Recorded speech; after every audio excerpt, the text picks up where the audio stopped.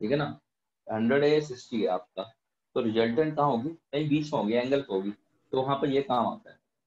कितना होगा? हाँ Sir. किस एंग, किस एंगल पर होगा वो डिपेंड करता है। तुम्हें एक्शन बोल दिया तो तुम्हें बोलना ज़रूरी है क्या? हाँ बोलो। सर वो अ, सिर्फ़ मतलब मैग्नीट्यूड निकालने को आएगा या फिर कॉस थीटा वगैरह वो भी वैल्यू हाँ सब आएगा निकालने को। थीटा दिया होता है। अल्फ़ा निकालने को आएगा। अल्फ़ा याद है कुछ? थोड़ा थोड़ा याद है। यस सर और क्लोरमेंट खाया करो यार तुम। बॉन बिटा का अब कोई असर नहीं होता तुम्हें। तुम ऊपर आ गए लेवल ऊपर हो गया तुम्हारा। क्लोरमेंट खाया करो। ठीक है? और फिर दूसरा क्या था? टेन अल्फ़ा टेन अल्फ़ा करके हमने क्या निकाला था? Ten alpha equal to b sine theta upon a plus b cos theta चलो आपको दे रहा हूँ। दो चलो तीन मिनट दिए। रिवाइज करो। फटाफट। पैलोग्राम लो। मैं आज स्पीड बढ़ाना चाहता हूँ। कम से कम पुराने वाले का इतना सा था बस दो फॉर्मूले थे काम के लेकिन उसका देखो कैसे कैसे लगा हुआ है। प्रॉपर डेरिवेशन से देखो ये कैसे कैसे वेक्टर लगे हुए हैं। अल्फ़ा किसके साथ एंगल है? थीटा क्या है? ए और बी क्या है? ठीक है ना? ये सब देखो बस। जल्दी से कॉपी फटाफट दो मिनट बस दो मिनट दे रहा हूँ मैं। फिर आगे बढ़ रहा हूँ।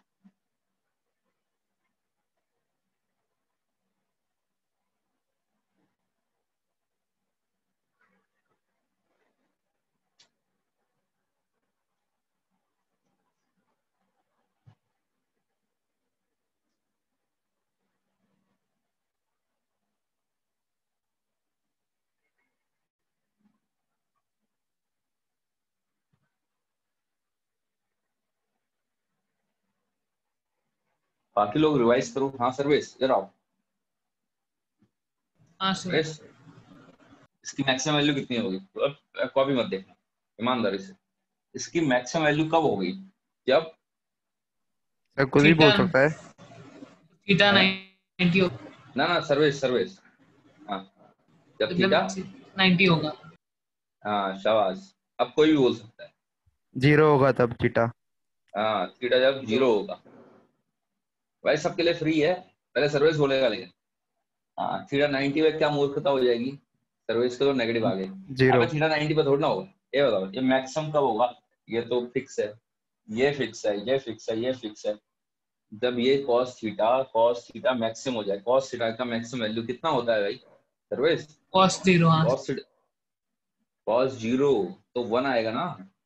हाँ सर वन तो क्या हो जाएगा? ए प्लस बी का होल स्क्वायर बन जाएगा रूट से वो कटेगा तो मैक्सिमम वैल्यू कितनी होती है रिजल्टेंट ए प्लस बी अबे पिछले बार बताया था। ये A plus 100 B यहाँ तो- लगाओ। ए प्लस सौ लगाओ एक हाँ हंड्रेड यहाँ लगाओ एटी यहाँ लगाओ। रिजल्टेंट क्या आएगा? ट्वेंटी आएगा इधर का। ट्वेंटी हंड्रेड और एट्टी तो ट्वेंटी इधर आएगा। लेकिन सबसे बढ़िया क्या है? हंड्रेड भी इधर है एट्टी भी इधर है। वन एट्टी आ जाएगा। मैक्सिमम कब आएगा? जब एंगल ज़ीरो होगा। सर्विस मिनिमम कब आएगा? मिनिमम जब एंगल वन होगा जब एंगल नाइन्टी होगा। Cos 180 माइनस 180 180 होगा। 180 होगा। 180 cos 180 माइनस वन होता है। ये मिनिमम कर मिनिमम कितना होता है? मिनिमम cos थीटा की मिनिमम वैल्यू क्या होती है? Minus a minus b. Zero होती है ना हाँ, minimum mod a। Minus b. cos theta की मिनिमम वैल्यू माइनस वन होती है, अब तुमने ट्रिग्नोमेट्री पढ़ ली है। cos थीटा की माइनस वन होती कि नहीं होती? जब थीटा 180 होता है। अरे आप भूल, ओ ज़ीरो से 90 के आगे बढ़ो। पूरे क्या पढ़ाई थी जेपीएन सर ने ट्रिग्नोमेट्री उसको जरा समझो। है? किसी और को दिक्कत है तो बताओ।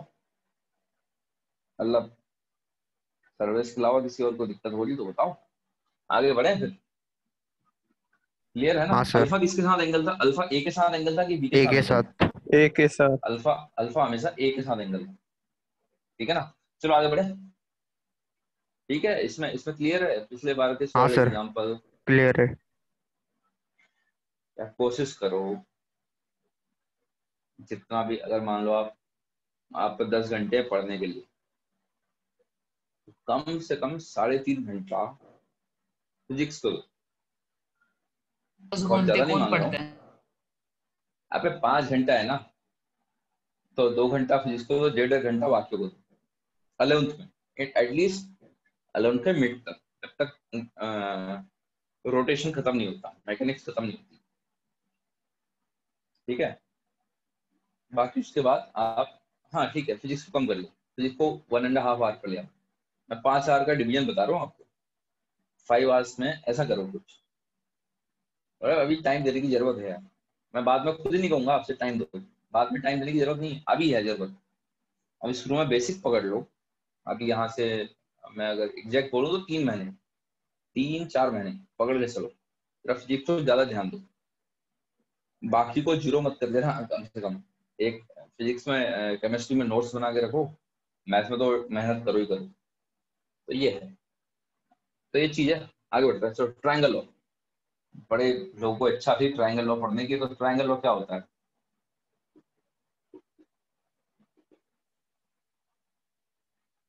अच्छा ये बताओ पैलोग्राम लॉ में क्या मिला था? याद है हमने ए और बी को कैसे ज्वाइन किया था? हाँ केतन ए और बी को कैसे ज्वाइन किया था? टेल टू टेल इसमें क्या करना है? Head head to tail head to tail a गया ए वेक्टर है ये बी वेक्टर है।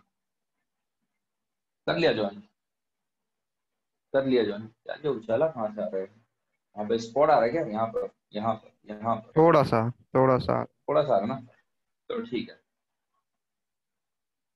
आ कहाँ से रहा है। चलो ठीक है मान लो कहीं से आ रहा होगा ए और बी ठीक है? चलो देखते हैं स्टार्ट इसमें क्या है? ए ऐसा है बी ऐसा है। तो ये वाला आपका ट्राइंगल लॉ में, ये वाला आपका रिजल्टेंट डिनोट करेगा, ये ए प्लस बी को डिनोट करेगा। देखो, अभी यहाँ पर वेक्टर बना दिए हैं प्रॉपर वेक्टर बना दिए हैं मतलब जरा ध्यान दो। डिफरेंस समझो, कभी घबरा, उस उस पर वो कंफ्यूज मत होना। वेक्टर बनाए मतलब ए वेक्टर इतना है बी वेक्टर इतना है। प्रॉपर साइन और डायरेक्शन के साथ। ये ए इधर को लग रहा है बी यहाँ को लग रहा है। अच्छा ए का मैग्नीट्यूड कुछ है? उसका हमने ड्रॉ कर दिया करस्पॉन्डिंग मतलब ए मतलब 100 न्यूटन है। या फिर 100 मीटर पर सेकेंड है वेलोसिटी है 100 मीटर पर सेकंड इधर को। तो हमने 100 के करस्पॉन्डिंग हमने 10 सेंटीमीटर ड्रॉ कर लिया। सेम चीज़ ये है, दूसरी वेलोसिटी है यहाँ को 60 मीटर पर सेकेंड। तो हमने 6 सेंटीमीटर ड्रॉ कर लिया ऊपर करस्पॉन्डिंग है ना? स्केल में लेके, एक कोई पर्टिकुलर फैक्टर से लेकर हमने ड्रॉ कर लिया प्रॉपर हमने ड्रॉ कर लिया। ये करके। तो उन दोनों का जो रिजल्टेंट होगा वो इस एंगल पर आएगा। ये ट्राइंगल होगा कहना है। और ये कुछ हद तक वैसा ही कहना है कि नहीं है। पहले हम बी को ऐसे बनाते थे। फिर बी को पैरेलल लेके आते थे। याद आ रहा है कुछ? बी को यहाँ बनाते थे फिर हाँ बी को यहाँ हम लेके आते थे। ठीक है? अच्छा एंगल ए और बी के बीच का एंगल सर्वेश ए और बी के बीच का एंगल कौन सा वाला एंगल है ये वाला है कि ये वाला है? सर वो पहले वाला। ये वाला ना? हाँ सर हाँ बादाम खाओ ज़्यादा ये वाला एंगल अबे ये वाला एंगल होगा कि नहीं होगा? पहले टेल टू टेल ज्वाइन करना होता है पहले बता चुका हूँ एंगल मेज़रमेंट हमेशा वेक्टर का टेल टू टेल है। इसकी टेल और इसकी टेल पकड़ो इसको आगे शिफ्ट करो। तो एंगल ये थीटा आएगा कि नहीं आएगा? है? ये वाला एंगल थीटा आएगा कि नहीं आएगा? टेल टू टेल ज्वाइन करो। एंगल बिटवीन वेक्टर जरा याद करो याद। फिर उसके बाद बस इसको कंस्ट्रक्शन क्या है ये? ज्वाइन वो टेल टू टेल वाला नहीं समझा। सर इस ए का तो हेड हुआ ना। इसका हेड है इसका टेल है ऊपर वाले का टेल है बी का टेल है ए का हेड है। इसको आगे शिफ्ट करोगे कि नहीं करोगे? ओके हाँ सर मेज़रमेंट हाँ sir angle between angle between vectors कैसे मेजर करते हो टेल टू टेल ज्वाइन करके हमेशा टेल टू टेल इसको आगे शिफ्ट किया यहाँ पर ज्वाइन किया ये किया। टेल इसकी टेल इसकी टेल ज्वाइन होगी तो थीटा आएगा कि नहीं आएगा? आएगा। किसी को कोई समस्या? हाँ भाई। नहीं सर नहीं सर फिर वो डॉटेड लाइन भी ए ही होगा ना? आकांक्षा कोई दिक्कत? No sir Jatin Jatin.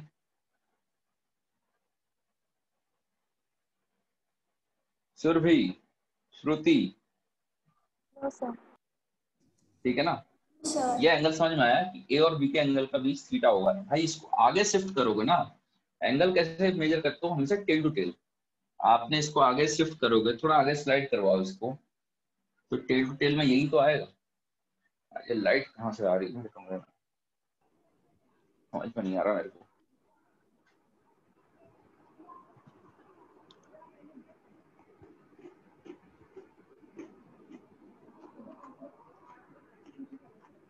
अच्छा समझ गया मैं। मोबाइल की लाइट है।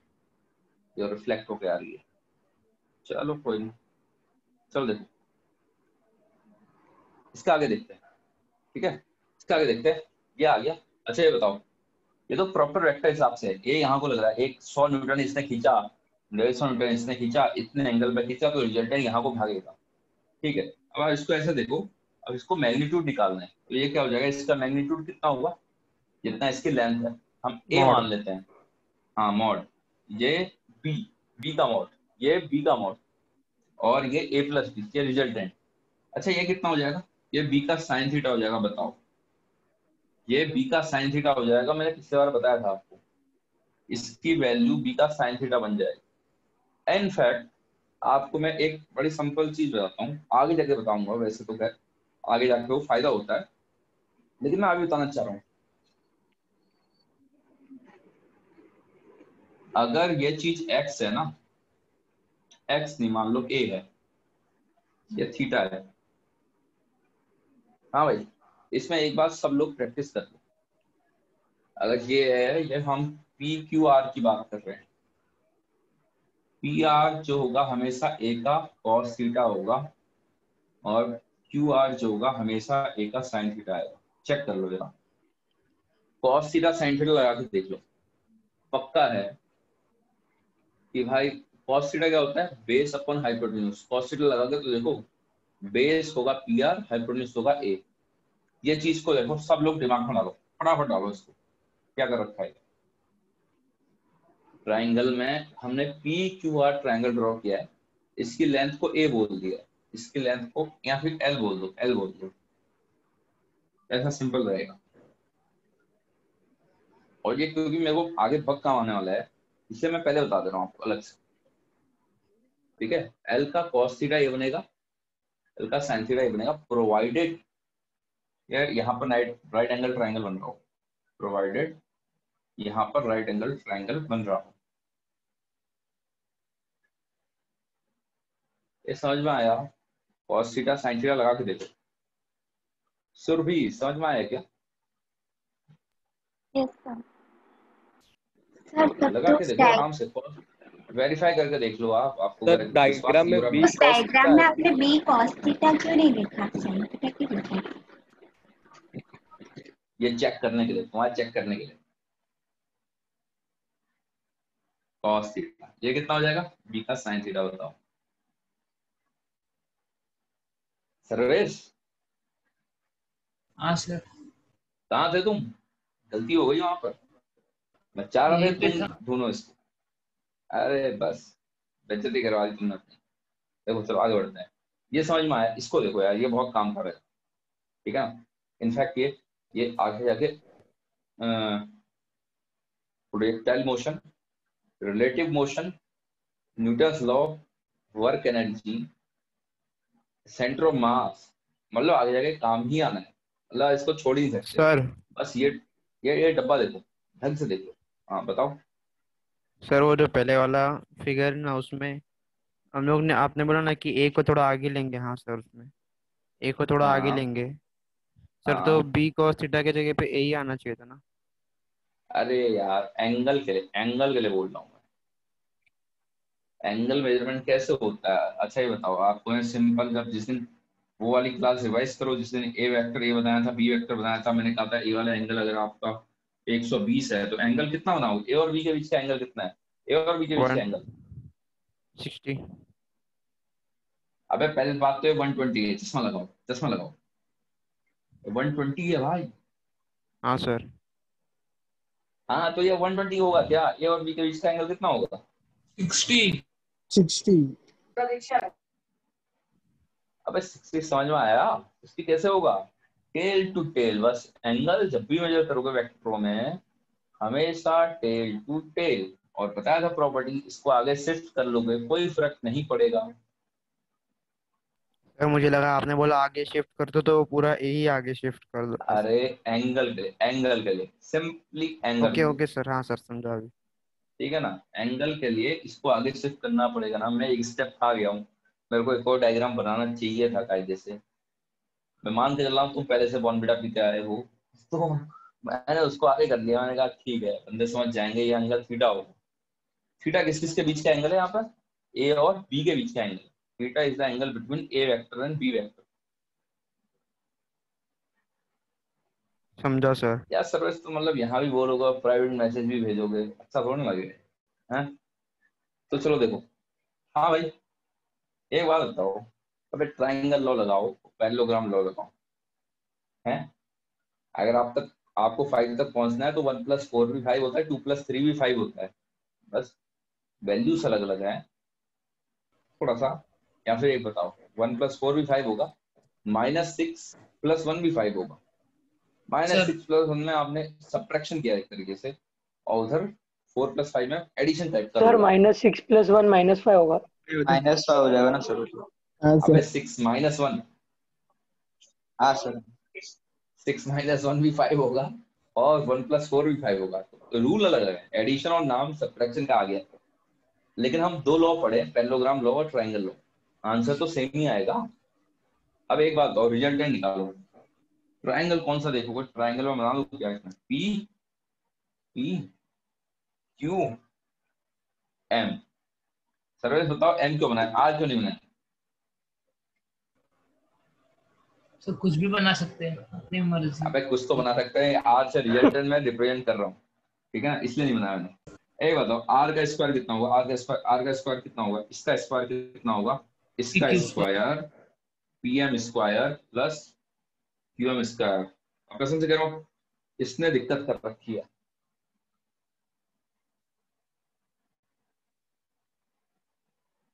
हाँ सर। पीएम पीएम वाले ने दिक्कत कर रखी है मैं बता रहा हूँ। हाँ सर पीएम ने पबजी बैन कर दिया ना। अरे बहुत दिक्कत कर दी मैं बता रहा हूँ। पबजी पबजी बैन कर दिया भाई। PUBG वाला महाराष्ट्र के। सीएम ने उससे ज़्यादा गड़बड़ की है। अरे तो पॉलिटिक्स चालू हो गया सर तो क्या सर हाँ चलो चलो आए और यहाँ पर R square is equal to अभी ऐसे ही मैंने जब ये बनाया ना डायग्राम लोगों को समझ में नहीं आया एंगल थीटा कैसे आया। लेकिन मैं पीएम का स्क्वायर बनाया सबको समझ में आ गया। हाँ दिक्कत क्या हो? जोक पकड़ में आ गया। नॉन लोगो चलो देखो, यहाँ पे क्या हो जाए? A plus B cos theta का होल स्क्वायर और क्यूबम कितना? अपना B sine theta whole square करो इसका। यार, हो, करो करो, फटाफट करो इसको। A square plus B square plus two A B cos theta मैंने शॉर्टकट में लिख दिया, आप एक लाइन करके देखो। आपको मिलेगा क्या? आपको एक लाइन मिलेगी जहाँ पर जहाँ पर बी स्क्वायर कॉमन आएगा।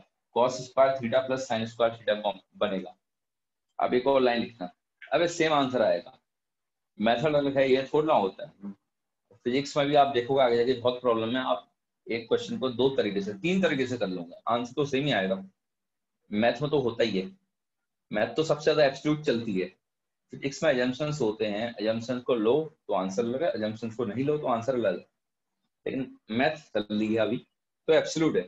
कोई मेथड पकड़ो आंसर सेम आना चाहिए। तो आंसर वही आएगा देखो। अब समझ में आया? यस yes, सर ये वाला एंगल हमारा अल्फ़ा हुआ करता था याद है? रिजल्टेंट जितना ए के साथ बना रहा है। रिजल्टेंट जितना ए के साथ बना रहा है वो वाला एंगल हमारा अल्फ़ा हुआ करता था। ठीक है? बताओ भाई टेन अल्फ़ा कितना हो जाएगा? Tan alpha this upon this tan alpha इतना हो गया तो कितना हो गया? बी का sine theta upon A plus B cos theta A plus B cos theta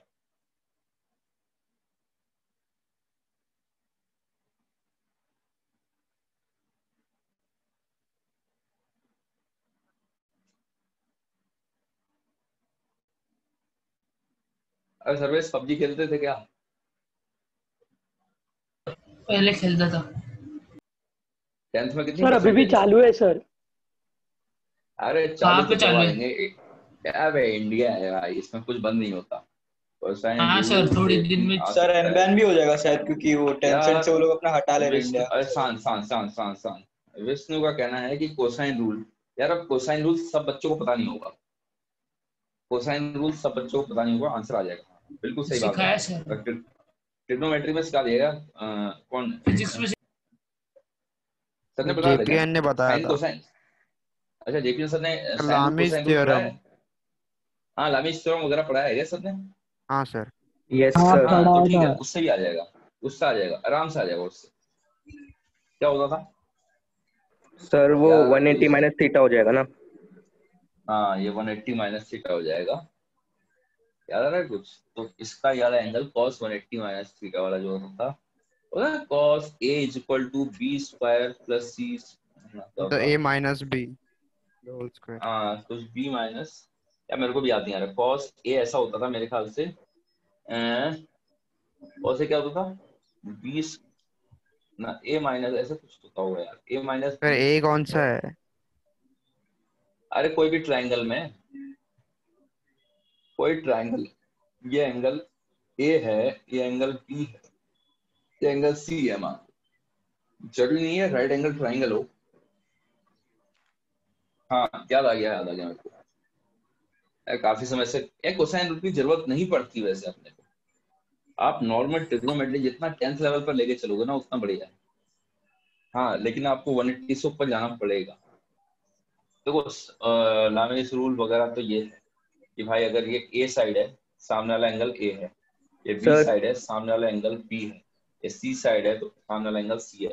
तो A upon sine A is equal to B upon sine B is equal to C upon sine C sir ये तो equal to Lami's theorem ना? Constant is equal to constant ये आप आपको उसमें एक chapter होगा प्रॉपर्टीज़ ऑफ़ ट्राइंगल और वो मैथमेटिक्स में सबसे ज़्यादा फॉर्मूले वाला चैप्टर है मेरे को जो लगता है। सर ट्रिग्नोमेट्री से भी है ज़्यादा हैं? ट्रिग्नोमेट्री से भी ज़्यादा। सर टेंथ में भी था। सीबीएसई सर बहुत है। ना ना वो टेंथ वाला मत बोलो यार, बेइज्जती मत कराओ। प्रॉपर्टीज़ ऑफ़ ट्रायंगल का क्वेश्चन एक आता है जेई मेंस में भी एक एडवांस में भी। मेंस में तो रहता है। मतलब यहाँ जो सर पढ़ाते हैं मैं यहाँ लोकल कोचिंग में जहाँ मैं पढ़ाता था दो साल से वो बोलते हैं यार इसका हमेशा आता है क्वेश्चन मतलब प्रॉपर्टीज़ ऑफ़ ट्रायंगल का एक क्वेश्चन रहता है।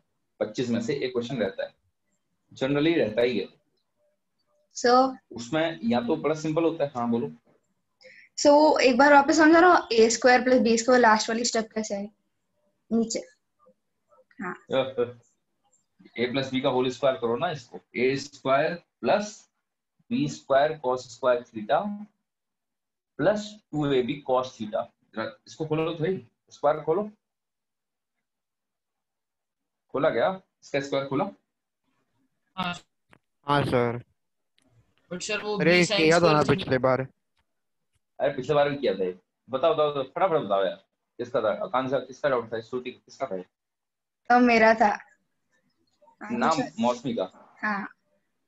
हाँ तो बताओ ए, इसको इसको होल स्क्वायर खोलो ना इसको फटाफट खोलो। A square plus B square square plus B square B cos theta the whole square plus two A B cos theta हाँ तो बी बी कॉस थीटा का होल स्क्वायर उल्टा लिख सकते हो B square cos square theta और B square cos square theta और B square sine square theta उसमें से बी स्क्वायर को कॉमन ले लो तो ब्रैकेट में वन बचेगा कि नहीं बचेगा?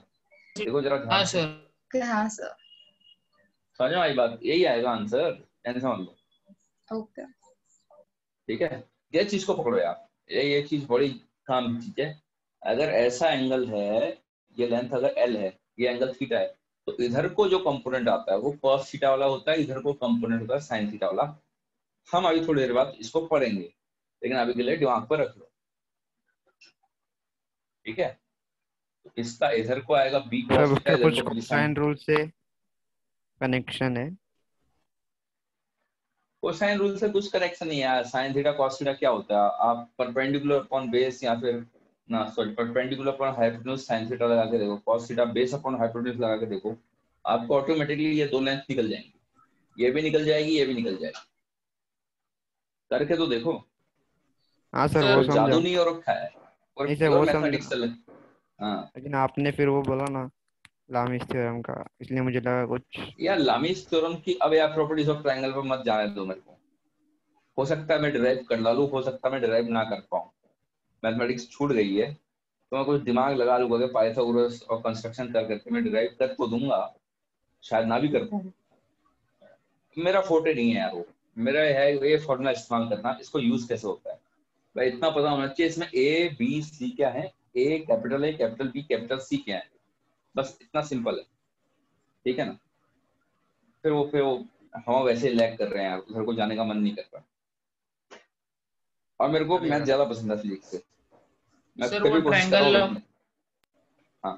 सर वो तो ट्रायंगल ट्रायंगल लॉ की एक कहानी है if a vector and p vector are represented by adjacent side of a triangle such that they are joined head to tail such that they are joined head to tail then the vec- then the line joining the tail of first vector the tail of first vector to the head of second vector represent the resultant vector ये उसकी कहानी ठीक है वो अंग्रेज़ी को कौन करोगे? छोड़ के चले गए। अपने को क्या मैग्नीट्यूड निकाला? हमने टेन अल्फ़ा निकाला कहानी खत्म। बोर्ड में आएगा। बोर्ड स्कूल में आता है। स्कूल में अगर एग्ज़ाम हो गए तो आएगा लैंग्वेज लिखने को। मोस्टली पैलोग्राम लॉ आएगा। ट्रायंगल लॉ कम आता है। सर वो ट्रायंगल लॉ का प्रूफ आप लिखा के देने वाले हो? पैरेललोग्राम लॉ जैसे।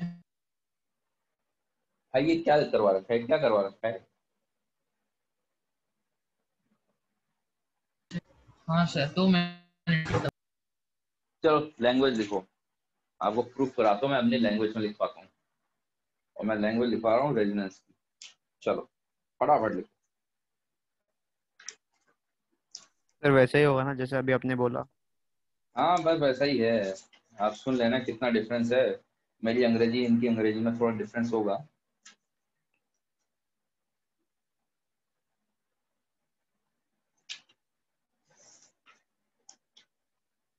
चलो देखो लिख लो इसमें लिख लो।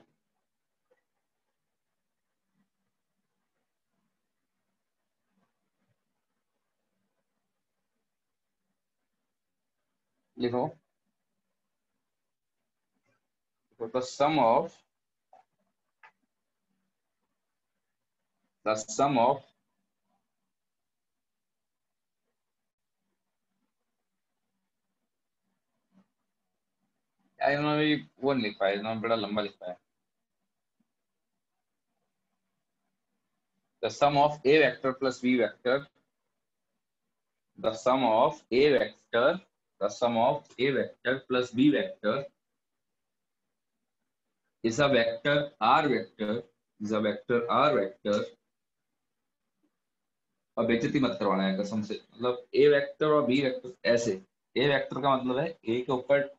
arrow बनाना आर वेक्टर का मतलब है आर के arrow banana sum of A vector plus B vector is a vector R vector drawn from tail of a vector drawn from tail of a vector drawn from tail of a vector to the head of b vector to the head of b vector to the head of रुको हाँ to the head of b vector There you go.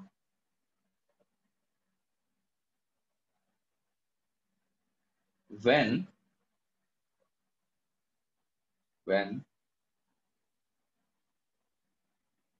when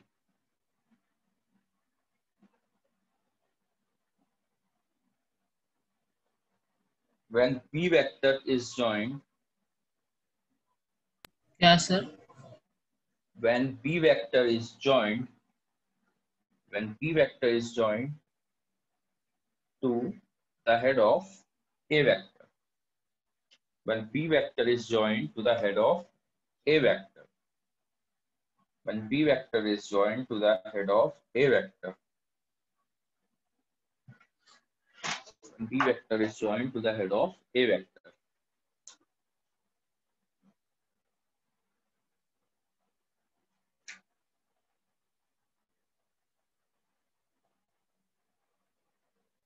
hello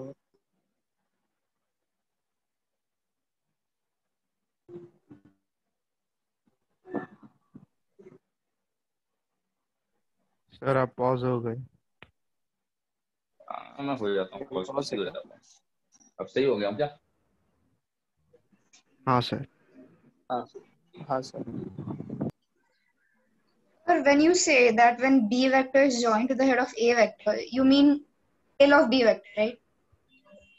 हाँ the head of B head of A vector is joined to the tail of B vector और कोशिश कर रहा हूँ मैं अंग्रेज़ी का इस्तेमाल ना करूँ मतलब देश की वतन की भाषा हिंदी है आगे बोलिए Okay. आती है और को समझ में वैसे और भी दो चार भाषाएँ आती हैं यूपी की भी आती है यूपी में पढ़ा हुआ हूँ the head of A vector is joined to the tail of B vector हम्म, तो सेंटेंस में गलती है क्या मेरे ख्याल से मैंने समझा तो दिया है कि एक वेक्टर का हेड को बी वेक्टर के टेल से ज्वाइन करो। तो ए वेक्टर का टेल और बी वेक्टर का हेड आपका रिजल्टेंट ज्वाइन करेगा।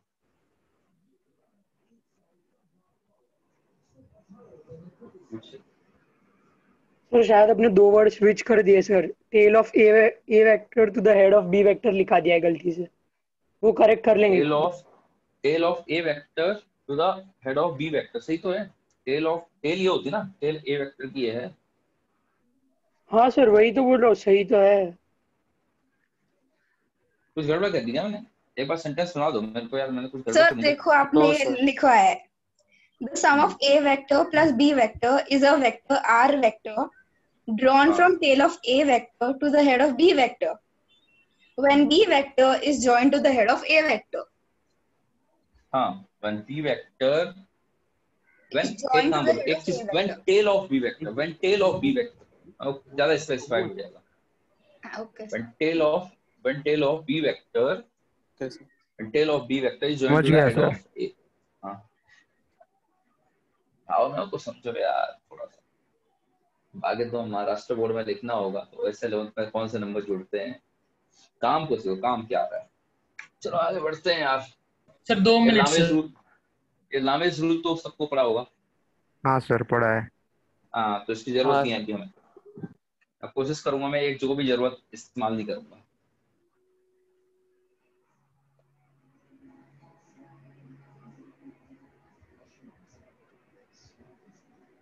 यार अलोन्स में बेसिक पर्पस क्या है? देखो आप आपको जब तैयारी करेगा याद नहीं मतलब मेरा तो मोटो ये रहता है यार कोशिश करो दिमाग में कम से कम रटने वाली चीज़ डाले।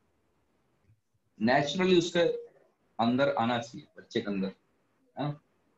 अब वो क्या है, उसने नया रूल कर दिया। मैं हाँ बता दूँगा। वो प्रूव मैथमेटिक्स में होगा। तो मैं उसका यूज़ ही नहीं करता हूँ। लामेस थ्योरम के बिना मेरी पूरी फिजिक्स चल जाती है। कहीं ज़रूरत नहीं पड़ेगी।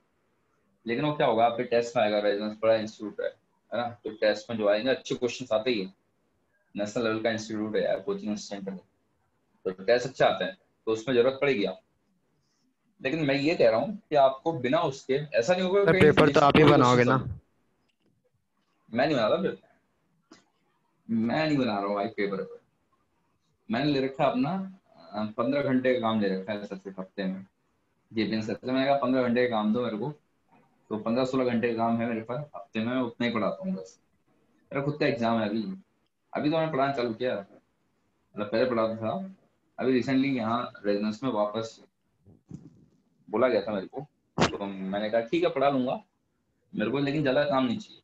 मैं खुद की तैयारी कर रहा हूँ अभी। हाँ, तो इसलिए हल्का फुल्का मैंने कहा यार वो नहीं चाहिए मेरे को लोड नहीं चाहिए। तो पंद्रह घंटे पढ़ाता हूँ मैं पंद्रह सोलह घंटे हफ़्ते में वीकली तो सोलह घंटे? हाँ हफ़्ते में पंद्रह घंटे कुछ भी नहीं होते भाई। पंद्रह सोलह घंटे क्या होते हैं हफ़्ते में पंद्रह सोलह घंटे? दो दो घंटे पढ़ाओ दो तीन घंटा पढ़ाओ दिन का।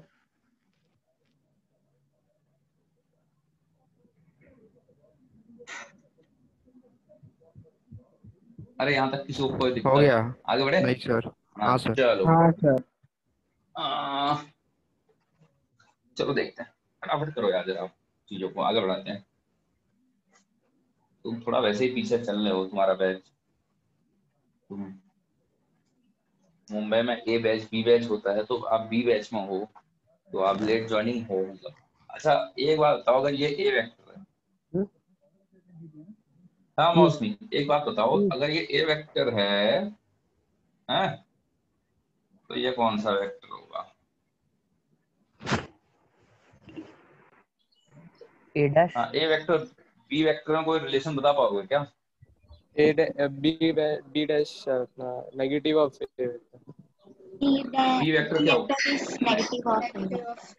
Negative of B vector negative of A vector ठीक है ना? यहाँ तक कोई समझ में आया ये समझ में आ गया सबको? यस सर हाँ सर कोई दिक्कत नहीं होनी चाहिए ना। सेम मैग्नीट्यूड है बस डायरेक्शन उल्टा कर दिया तो माइनस नहीं लग जाएगा ठीक है। कोई दिक्कत नहीं है। अब एक बात बताओ।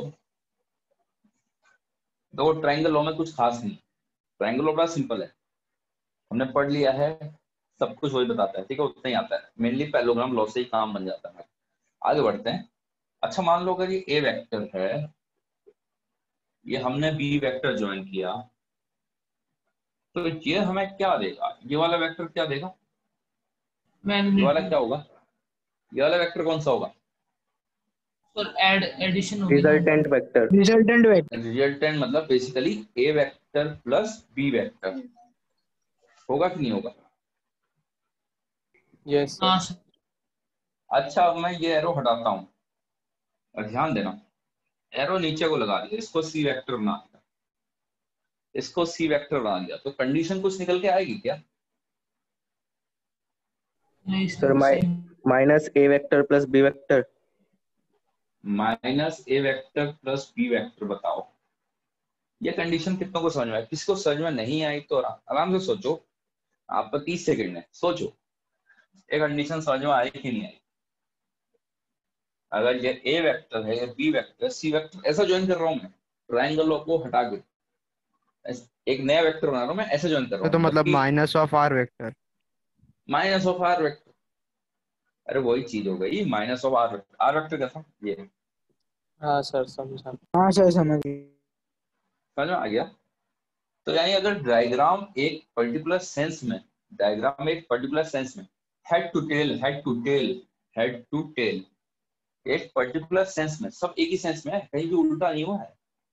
अगर पर्टिकुलर सेंस में अगर कंप्लीट हो रहा है पूरा डब्बा ट्रायंगल इसको इधर लेके आओ इधर लेके आओ क्या बन जाएगा? A vector plus B vector plus C vector is equal to zero अब किसी को कोई दिक्कत है इसमें बताओ। नो सर है? नहीं सर ठीक है ना? अच्छा एक बात बताओ। अगर अच्छा वो ज़ीरो कैसे है?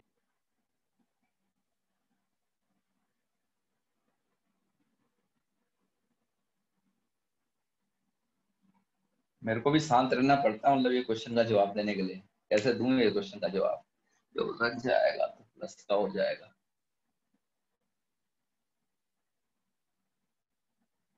A vector plus B vector is equal to R vector और सी वेक्टर हो जाएगा माइनस ऑफ़ आर वेक्टर अब ये वाला कौन सा वेक्टर बनता? ऊपर वाला कौन सा वेक्टर बनता? ए प्लस बी वेक्टर बनता कि नहीं बनता? हाँ तो सी वेक्टर क्या बनेगा? Minus of A plus B vector कहाँ करते हैं सर ए प्लस बी को उधर शिफ्ट करेंगे तो वो ज़ीरो आएगा। उसको वो नहीं समझ आया। वो पूछ रहा है कि ज़ीरो कैसे इधर five is equal to minus three plus हाँ सर समझा आपने सर मुझे लगा आपने कुछ फॉर्मूले। यूज़ किया। था। अरे कौन सा फॉर्मूला यूज़ कर लिया भाई? कोई फॉर्मूला यूज़ नहीं किया। अरे समझ में आ गया? कोई हाँ दिक्कत सर है अभी नहीं हाँ सर समझ गया।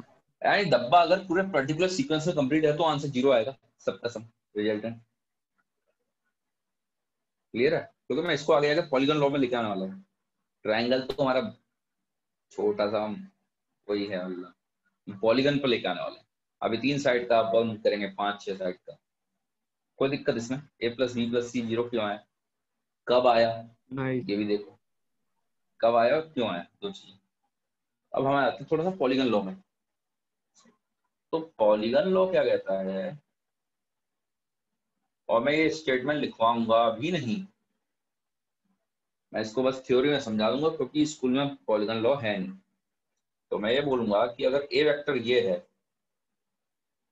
बी वेक्टर ये है अरे सी वेक्टर ये है और डी वेक्टर ये है, मान लो मान लो ये है यहाँ तक यार डी वेक्टर ठीक है ए वेक्टर यहाँ से चालू है।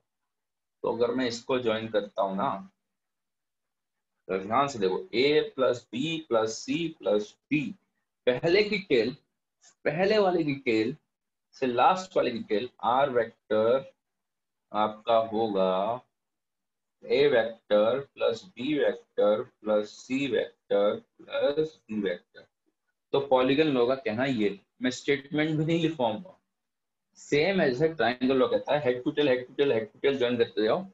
लास्ट में कुछ स्पेस बची तो पहले वाले की टेल से लास्ट वाले के हेड को ज्वाइन करने वाला रिजल्टेंट वेक्टर होगा।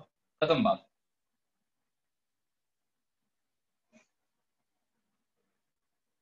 पहले वाले की टेल से लास्ट वाले के हेड तक ज्वाइन करने वाला रिजल्टेंट वेक्टर बताओ कोई दिक्कत सर इसमें? सवाल कैसे आएँगे? अरे वो मैं बताती आऊँगा यार तुम चिंता मत करो ये समझ में आया। Yes sir sir. ठीक है ना इसको दिमाग में रखो। इसको मिटा दूँ इधर वाले को लेफ़्ट वाले को मिटा दूँ? हाँ सर। हाँ सर। ठीक है लेफ़्ट वाले को देखो फटाफट मिटा रहा हूँ। ए वेक्टर बी वेक्टर तो ये वाला सी वेक्टर पूरा डब्बा बंद हो गया। इसमें डब्बा बंद नहीं हुआ अभी? इसमें अगले स्टेप में डब्बा बंद करूँगा। इसको घुमा दूँगा। इसको घुमा दूँगा। ई वेक्टर बनाऊँगा मैं अभी। ई वेक्टर बनाऊँगा अभी आपका। क्लियर है? ये मिटा रहा हूँ मैं। देख लो हाँ सर ठीक है? तो अगले स्टेप में मैं क्या करूँगा? सर तो वापस A plus D plus C plus D plus E होगा। हाँ। A vector B vector C vector same डब्बा सेम डब्बा। इस बार मैं ऐसे कर रहा हूँ। ज़ीरो। कोई दिक्कत इसमें? नहीं अबे भाई ये वाला वेक्टर कौन सा था? ये वाला वेक्टर कौन सा था? A plus B plus C plus D था कि नहीं था? तो क्या मैं ये बोल सकता हूँ कि ई वेक्टर आपका जो है वो माइनस है negative of A vector plus B vector plus C vector plus D vector बताओ। होगा कि नहीं होगा? A vector plus B vector होगा सर होगा हाँ सुरभि सुरभि कोई दिक्कत? श्रुति? No, sir. हम्म। ठीक है? तो कितना हो जाएगा भाई? A vector plus B vector plus C vector plus D vector plus E vector equal to zero यानी अगर सीक्वेंस पकड़ो head to tail head to tail head to tail head to tail head to tail पूरा डब्बा अगर बंद हो रहा है तो मतलब रिजल्टेंट ज़ीरो आएगा। बड़ा आसान चीज़ लग रही होगी अभी है यह पता है आप इंजीनियरिंग सर्विसेज़ में अगर छोड़ो। सर पॉज हो गए। सर लैग हो रहा है शायद हाँ सर लैग हो रहा है।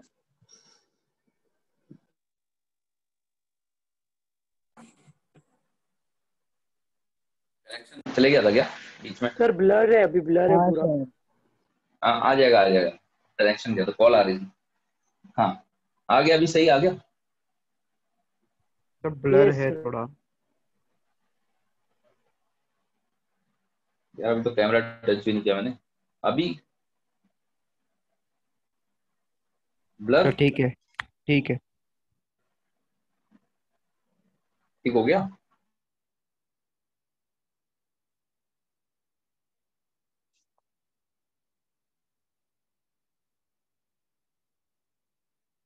नहीं सर पॉज हो गया। सर अभी वापस पहुँच हाँ सर अरे पॉज हो यार गया। अरे यार सर पॉज नहीं हुआ सर का वीडियो पॉज हुआ। है सर लैग हो रहा है।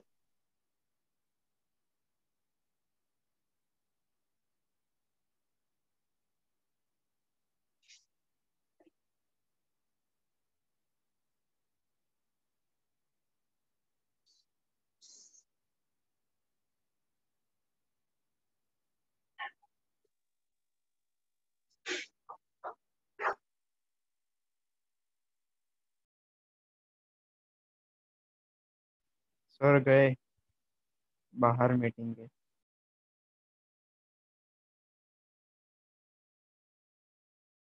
हाँ सर अभी क्लियर है। अभी सही आ गया? हाँ सर अभी यस सर बहुत बढ़िया।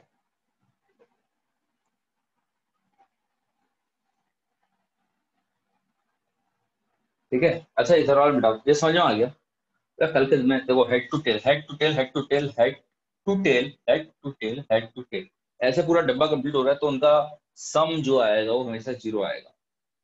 और कभी ऐसी सिचुएशन हो रही है A vector plus B vector plus C vector plus D vector और स्पेस बच रहा है, अगर स्पेस बच रहा है, अगर स्पेस बच रहा है तो पहले वाले की एंडिंग तो पहले वाले की एंडिंग पहले वाले की एंडिंग से लेके, पहले वाले की टेल से लेके लास्ट वाले के हेड तक जॉइन करोगे तो रिजल्टेंट दे देगा आपको। समझ में आता है इतना? ये आपको रिजल्टेंट दे देगा। ठीक है? तो इसी का वो सब पार्ट है। जब कोलेरी करके पता क्या करता वो आर डी शर्मा कहता है को अंग्रेज़ी इतनी भी अपनी अच्छी नहीं है। क्या करता था कोरोलरी आकांक्षा, बताओ, अंग्रेज़ी तुम्हें तो आती होगी। तो कोरोलरी. सर्विस का दिमाग में तो नहीं आ रहा कोलावेरी वगैरह कुछ ऐसा तो नहीं आ रहा कुछ है? नहीं कोरोलरी करके कुछ आता था ना वो वही पार्ट होता है मतलब इसी का इसी का यहाँ से कंक्लूजन निकला हुआ है वो. ठीक है ना? समझ में क्लियर है? किसी को कोई दिक्कत? नहीं सर. मैं काम नहीं sir. मैं काम का क्वेश्चन काम का क्वेश्चन पूछ रहा हूँ मैं. पढ़ाओ इसको. काम का क्वेश्चन ये है और कोई मॉड्यूल नहीं दिया। ये बताओ, अगर मेरे को, मेरे पास ऑप्शन है, मेरे पास दो वेक्टर हैं, तीन वेक्टर हैं, चार वेक्टर एक वेक्टर है, दो वेक्टर है, तीन वेक्टर है, चार वेक्टर पाँच वेक्टर अनलिमिटेड वेक्टर तो मिनिमम कितने वेक्टर चाहिए? एक प्लेन में, एक प्लेन में मिनिमम कितने वेक्टर चाहिए कि रिजल्टेंट ज़ीरो हो जाए? तीन।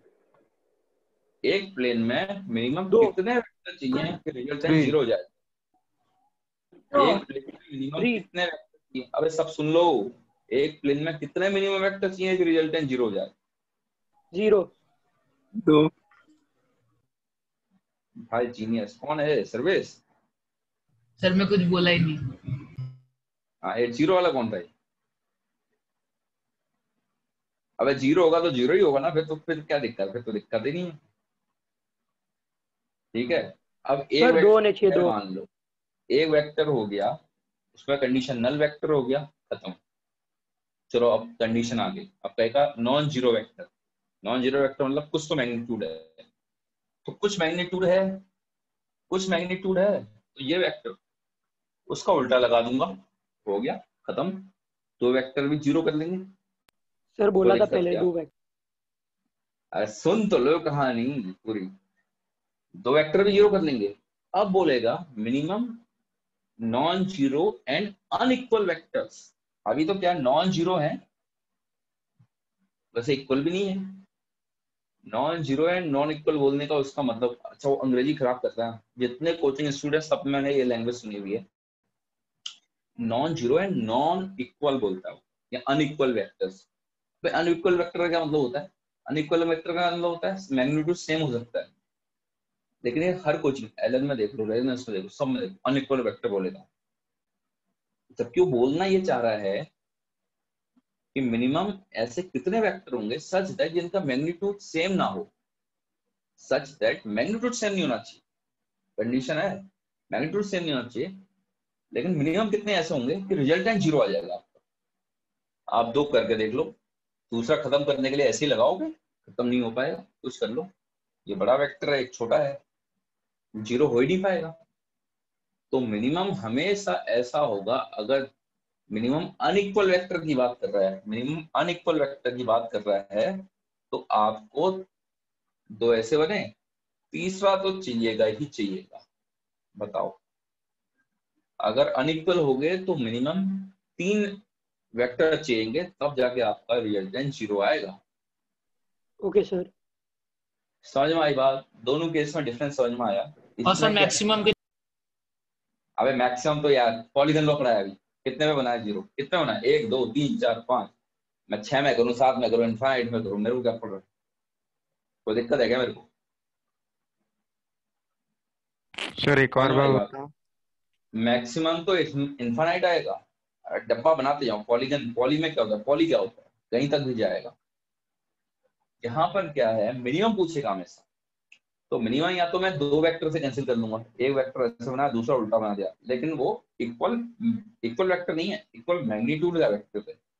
लैंग्वेज पकड़ना जरा। तो ये हो गया। लेकिन आपसे कहेगा दो मिनिमम कितने वेक्टर चाहिए जिनका मैग्नीट्यूड इक्वल नहीं है? तो तब आपका आंसर तीन आएगा। तीन में आप खत्म कर दो बच्चियों को। तीन में डब्बा बन जाएगा डब्बा अच्छा डब्बा कितनों में बनेगा? मिनिमम डब्बा कितने में बनता है? हमेशा तीन में बनेगा कि नहीं बनेगा। क्लोज फिगर कितने बन जाएगा? सबसे छोटा क्लोज फिगर स्ट्रेट लाइन से ज्वाइन किया हुआ। ट्रायंगल ही बनेगा उससे छोटा और कोई बन सकता है क्या?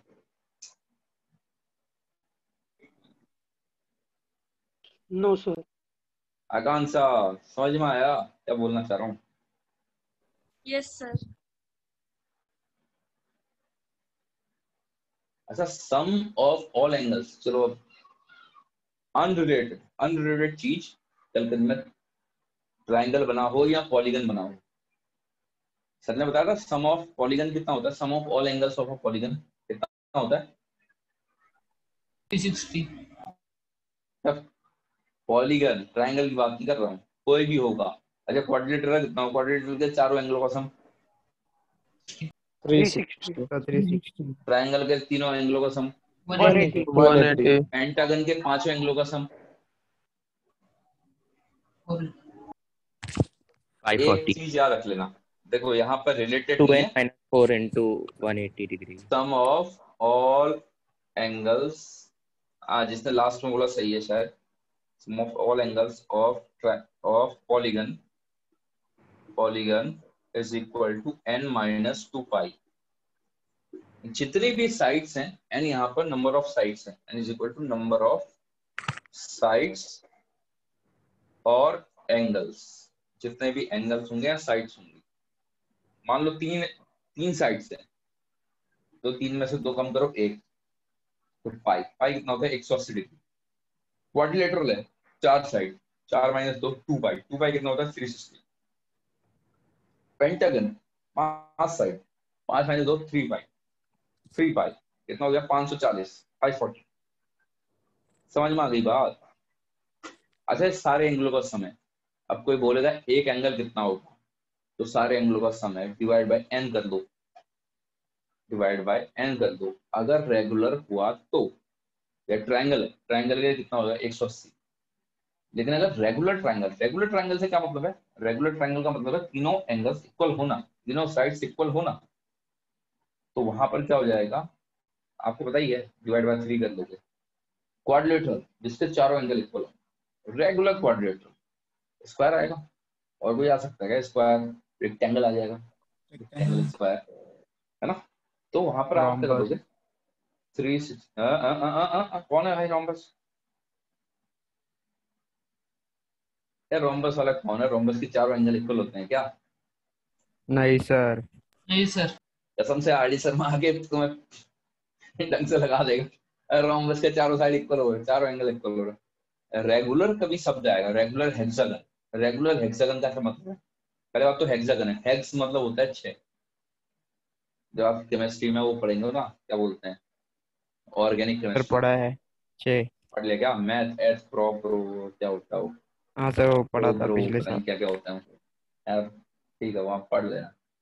मतलब हैग्स क्या होता है पेंट क्या होता है ऑक्ट क्या होता है नॉन क्या होता है ज़्यादा मेरे को भी नहीं आता है। ठीक है इतना ये ठीक है। तो ये कहानी हो गई आपकी। चलो आगे बढ़ते हैं। आप समझ में आ गया? लैंग्वेज लिख लो एक लैंग्वेज लो। ये भी लिख लो काम की चीज़ है बहुत काम की चीज़। है पता होना चाहिए। आप इंजीनियरिंग करने जा रहे हो तो ये तो पता ही होनी चाहिए कि सम ऑफ़ ऑल एंगल्स क्या होता है। This plus this plus this इन सब का समा आपका n minus two pi where n are the number of side for angles और एंगल्स एक एक लैंग्वेज लिखो। एक लैंग्वेज लिख लो। बुक से लिखवा रहा हूँ। The minimum number of unequal minimum number of unequal minimum number of unequal coplanar vectors minimum number of unequal coplanar vectors coplanar vectors whose sum can be zero whose minimum number of minimum number of unequal coplanar coplanar co coplanar planar C O planar ये हो गया P L A N A R coplanar minimum number of unequal coplanar vectors whose sum can be is ठीक है? Sir एक बार वापस minimum page number X पर Y number की लाइन होगी। छाप लो वहाँ से। पेज नंबर एक्स थोड़ी है वहाँ पे। हाँ तो कुछ तो होगा मिल जाएगा। अरे क्या बोल रहा हूँ? सुन लो फटाफट लिखो यार। Minimum number of unequal minimum number of unequal coplanar vectors whose sum can be zero is 3 minimum number of unequal coplanar vectors whose sum can be zero is 3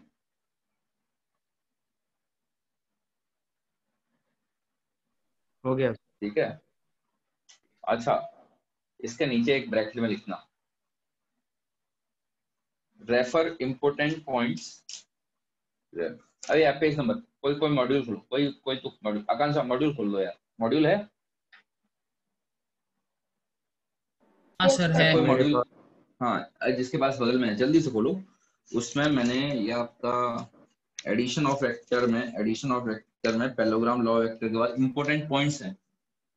ठीक है ना? इंपॉर्टेंट पॉइंट्स पेज नंबर यार मेरी module बहुत पुराना है दो हज़ार पंद्रह का है। पेज हाँ, नंबर तो- थर्टी थ्री अच्छा मेरे पास वही है थर्टी थ्री है मेरे। ठीक है। तो पेज नंबर थर्टी थ्री में इंपॉर्टेंट पॉइंट्स करके लिखा होगा देखो वो ऐसे करके दिया होगा है ना? हाँ सर हाँ तो बस रेफर दैट पेज नीचे लिख लो। Refer page number thirty three sir coplanar का मतलब क्या होता है? ठीक है? चलो मैं सब आपको एक नंबर पॉइंट करके बताता हूँ। वो vector only a vector of same type can be added एक वेक्टर पर दूसरा सेम वेक्टर का एडेड हो सकता है। सही बात है यार मास के साथ। वेक्टर छोड़ो। इन जनरल कोई भी फ़िज़िकल क्वांटिटी के साथ दूसरी सेम टाइप की फ़िज़िकल क्वांटिटी ऐड होगी सर मतलब सेम डायरेक्शन वाला वेक्टर ना? समझो रुको जरा। अबे इधर से मम्मी ने मारा इधर से पापा ने मारा कि ऐड होगा कि नहीं होगा? मायने दोनों का है। सर आपने क्या बोला है ये मायने रखता है। हैं? बोला ना एक इस तरफ़ खींचेगा दूसरा इस तरफ़ तो बीच में ज़ीरो हो जाएगा। सर एक के ये हिसाब से न्यूट्रल हो जाएगा मम्मी पापा दोनों मारेंगे तो। करवा लो कोशिश कर लो आज। क्या दिक्कत? है काम की बात सुनो। यार अगर आप चीनी है मान लो एक किलो। एक किलो चीनी के साथ आप एक किलो दूध थोड़ा ना ऐड करोगे। है ना? एक किलो चीनी के साथ आपको ऐड करना होगा। अब ऐड मतलब वैसे ऐड मत करना। मतलब आपको दो चीज़ों को नंबरों को ऐड करना है, ऐसी क्वांटिटी को ऐड करना है। ठीक है? आप अंडे लेने गए। चार अंडे। अंडे क्या बोलो उसको लौकी लेने गए, तीन किलो लौकी ले, उसके बाद चार किलो ले ली। तीन किलो प्लस चार किलो, सात किलो बना दी। लेकिन ऐसा थोड़ा ना होगा, तीन किलो प्लस दूसरा कोई क्वांटिटी ऐड कर लोगे। हमेशा सेम टाइप की क्वांटिटी के साथ से मास के साथ वेलोसिटी ऐड होते हुए देखिए कभी। मास के साथ छोड़ो। रियल लाइफ नहीं सर मास के साथ वेलोसिटी कभी ऐड हुई है क्या? मल्टीप्लाई हुई है? हाँ मल्टीप्लाई सर होकर मोमेंटम बनी है। मल्टीप्लाई। होकर मोमेंटम बनी है। लेकिन ऐड नहीं होगी। ये यूनिट एंड डायमेंशन के चैप्टर में आपको पढ़ाया जाएगा। ठीक है? आगे आगे पढ़ाया जाएगा। तो सेम टाइप की फ़िज़िकल क्वांटिटी हाँ सेम टाइप की फ़िज़िकल क्वांटिटी ऐड होती है। मास के साथ मास ऐड होगा फोर्स के साथ फोर्स ऐड होगा वेलोसिटी के साथ वेलोसिटी ऐड होगी एक्सेलेरेशन के साथ एक्सेलेरेशन ऐड होगा। वेक्टर से मतलब ही नहीं है। वेक्टर तो फ़िज़िकल क्वांटिटी के अंदर का सब पार्ट है। वहाँ दो है, एक स्केलर है, एक वेक्टर तो वेक्टर के अंदर भी आओगे, वो रूल तो फॉलो करेगा ही करेगा। प्रिंसिपल ऑफ़ होमोजेनिटी जैसे विष्णु ने बोला, ये चैप्टर कब खत्म होगा? कौन सा वाला चैप्टर कब खत्म होगा? आकांक्षा का कहना है, ये वाला वेक्टर वाला। ठीक है, आज और नेक्स्ट लेक्चर नेक्स्ट लेक्चर ठीक है नेक्स्ट लेक्चर में खत्म हो जाएगा। इसने कहा था लेट एडमिशन लेने को, मैंने थोड़ा बोला। लो लेट एडमिशन मैथमेटिकल एक महीना ही तो लेट हुआ था। हाँ दो हो गया ना उसमें। ठीक है। तो कहने का मतलब ये है आपका। सेम प्रिंसिपल ऑफ़ होमोजेनिटी इसके साथ यही ऐड होगा। ठीक है? ठीक है? ये हो गया। तो वेक्टर में सेम चीज़। वेलोसिटी के साथ वेलोसिटी एक्सप्रेशन के साथ एक्सप्रेशन ही ऐड होगा। ये सब वो कहना चाह रहा है। तो पहली लाइन ये थी इंपॉर्टेंट पॉइंट्स की। यार तेज भाग के कोई फ़ायदा नहीं है। आपको भगाना है। केमिस्ट्री में चल रहा है मैथ्स में चल रहा है। यार आप कैसे बोल सकते हो कि आप कोई सब्जेक्ट स्लो हो ही नहीं सकता आपके लिए। आप आई के लिए तैयारी कर रहे हो, आप कोचिंग में तैयारी कर रहे हो, ऐसा कैसे हो जाएगा? अगर आपको लिटरली स्लो लग रहा है यार फिर आप मतलब हमारे लोगों की स्पीड अगर स्लो लग रही है तो आप अंडर थाउज़ेंड तो आराम से हो आई में अंडर थाउज़ेंड आराम से हो। प्रोवाइडेड बाकी दो, अगर एक सब्जेक्ट स्लो लग रहा है तो आप बाकी दो में फिर कमांड रखो ना प्रॉपर कमांड रखो 120 में। 100 नंबर का पेपर है लेके जाओ 90 प्लस ठीक है? एक स्लो चल रहा है तो वो तो आपके लिए बेनिफिशियल है ना यार। आप पर दूसरी साइड से लोड आ रहा है उसकी चिंता मत करो। अब मैं अगर पीक पकड़ने लग गया तो आपको समझ में नहीं आएगा क्योंकि तो मेरी ज़्यादा खतरनाक है। मैं अभी फाउंडेशन बनाने पर चल रहा हूँ पूरा बैच लेके चलना है। तो आप हम्म, दे दो वहाँ मैं तो फिजिक मैं तो केमिस्ट्री में ज़्यादा ध्यान दे दो। अगर किसको स्लो लग रहा है इन केस मैं जैसे चल रहा हूँ ऐसे ही चलूँगा थोड़ा स्लो स्लो आप क्वेश्चन किसी लेवल का पूछो सर उससे कोई दिक्कत नहीं। हाँ। आप इससे और स्लो चल सकते यार वो वासी से वो गोवंडी को ब्रिज ज्वाइन करता है वहाँ जाओ वहाँ से कूद जाओ। इससे स्लो क्या चल दूँगा यार? इतना स्लो तो चल रहा हूँ। फास्ट चलते हैं। थोड़ा फास्ट चलते हैं। फास्ट चल सकते हैं। हाँ ये फास्ट तो मेरा अच्छा है। सर नहीं सर ये स्पीड नहीं चले रहोगे देखो, ट्वेल्थ में कोई दिक्कत नहीं है। ट्वेल्थ में आपके दो तीन चैप्टर क्या होगा? तुम्हारे बैच के साथ बता रहा हूँ तुम्हारे बैच के साथ एक थर्मोडाइनमिक्स टॉपिक होगा, या फिर वेव्स टॉपिक होगा। एक छूट जाएगा आपका। एक छूट जाएगा। एक शायद हुआ है मतलब पहले दो या पंद्रह।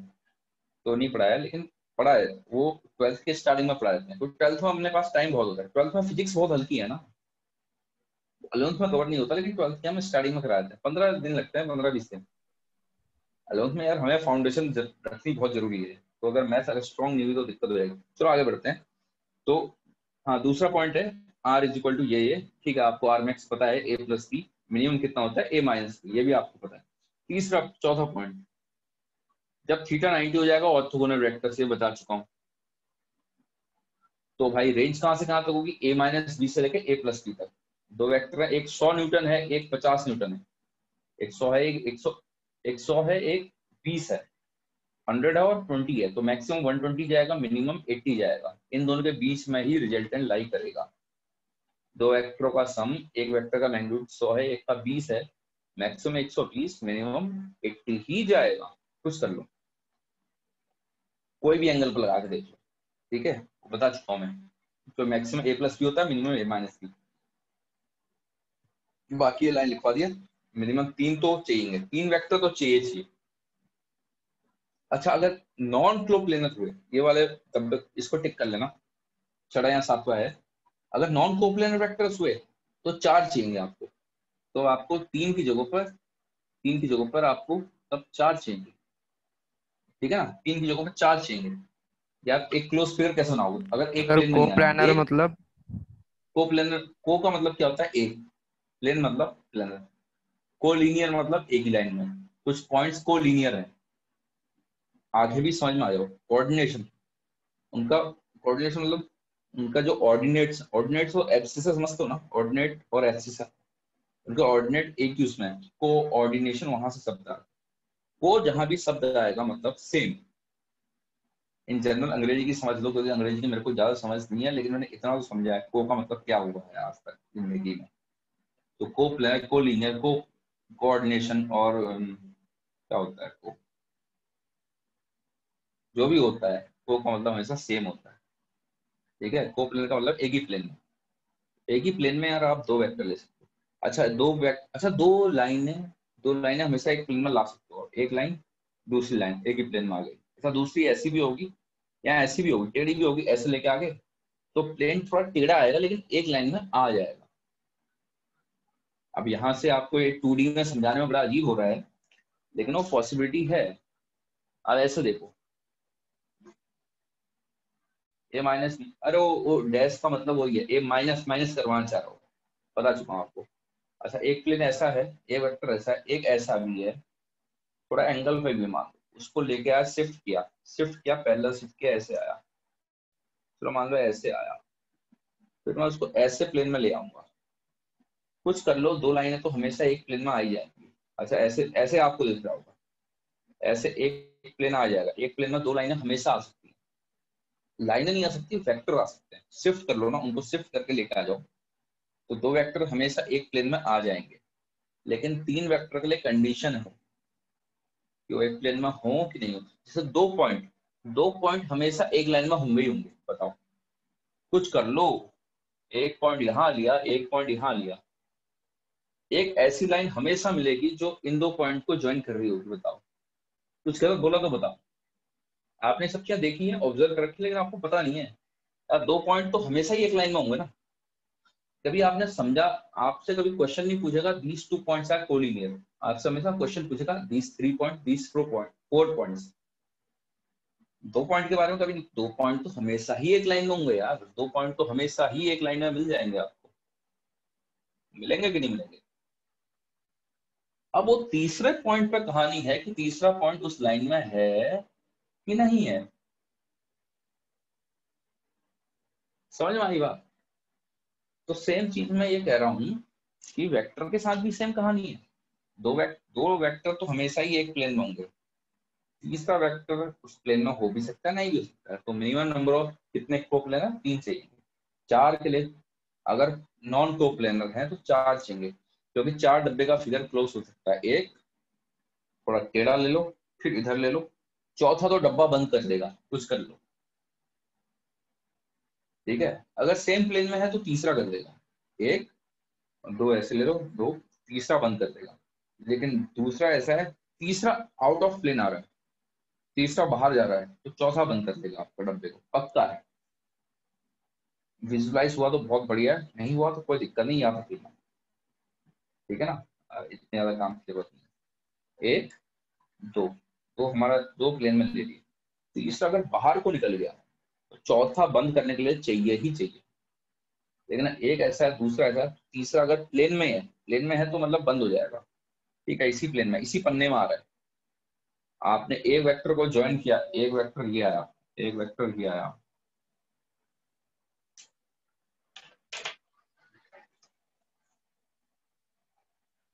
एक वेक्टर ये आया, एक वेक्टर ये आया।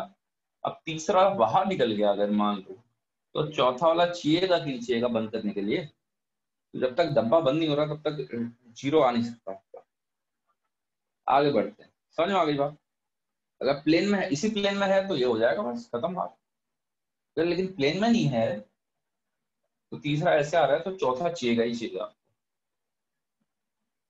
क्लियर है? यस हाँ सर हाँ सर चलो आगे बढ़ते हैं। उसके बाद मैं सब पढ़ा चुका हूँ उसके बाद अगला पॉइंट भी मैं पढ़ा चुका हूँ। सब्ट्रैक्शन ऑफ़ वेक्टर पढ़ा चुका हूँ। Under root of R under root of A square plus B square minus two A B cos theta याद रखना थीटा एंगल बिटवीन ए और बी है ना कि ए और माइनस बी के बीच का एंगल है। ठीक है? उसके बाद के मैं सॉल्व एग्ज़ाम्पल आपको करा चुका हूँ। हाँ अपने को एक क्वेश्चन करना है। फटाफट करो चलो एक क्वेश्चन करो फटाफट। एक क्वेश्चन करो फटाफट। उसके बाद हम पढ़ेंगे रिजोल्यूशन फटाफट करो एक क्वेश्चन है उसके बाद सॉल्व एग्ज़ाम्पल में से ही है? ठीक है रिजल्टेंट ऑफ़ एक काम करो। एग्ज़ाम्पल नंबर कौन सा? आकांक्षा एग्ज़ाम्पल नंबर कौन सा है? थर्ड एग्ज़ाम्पल है। उसके बाद अरे तो एग्ज़ाम्पल नंबर क्या देखा आपकी? बुकलेट में क्या दिया है resultant of two velocity vectors A and A हाँ sir example three example three हाँ। तो वो लिख लो। सॉल्व एग्ज़ाम्पल करके लिख लेना। सॉल्व एग्ज़ाम्पल इतना page number thirty four solve example इतना पेज नंबर थर्टी फोर सब लोग देख लो। क्या कर रहा है the resultant of two vector the resultant of two vector the resultant of two vector a vector and b vector is perpendicular to a vector मतलब ए वेक्टर मान लो ऐसा है बी वेक्टर मान लो ऐसा है तो रिजल्टेंट आपका a vector plus B vector जो आ रहा है परपेंडिकुलर टू ए वेक्टर आ रहा है। क्वेश्चन ये दे रहा है। ठीक है? अच्छा मैग्नीट्यूड यानी आर आपका बी बाई टू भी दे रहा है वो। आर आपका बी बाई टू भी दे रहा है। बस। आपको ए और बी के बीच का एंगल जानना है। ए एंड बी का बीच का एंगल जानना है थीटा जानना है आपको। देखो, यहाँ तो डायग्राम बनाओ मैं सीधे चल लो तो भी कहानी बन जाएगी। ठीक है? सीधे चल लो तो भी कहानी बन जाएगी आपकी। देखो क्या होगा रिजल्टेंट क्या होता है? R square is equal to A square plus B square plus two A B cos theta mathematics पर छोड़ दो सारी कहानी। ठीक है? आर को कितना लिखूँगा? बी बाई टू आर को बी बाई टू लिखूँगा तो स्क्वायर करूँगा तो बी स्क्वायर बाय फोर बताओ। Plus A square sorry equal to A square plus B square plus two A B cos theta ठीक है? कितना आ जाएगा? इतना ये निकल के आगे। हाँ। तो यहाँ से कितना हो गया? छोड़ दो इसको यहीं पर छोड़ दो। एक और कंडीशन हम पर टेन अल्फ़ा हाँ आकांक्षा ये अल्फ़ा एंगल किसके साथ था?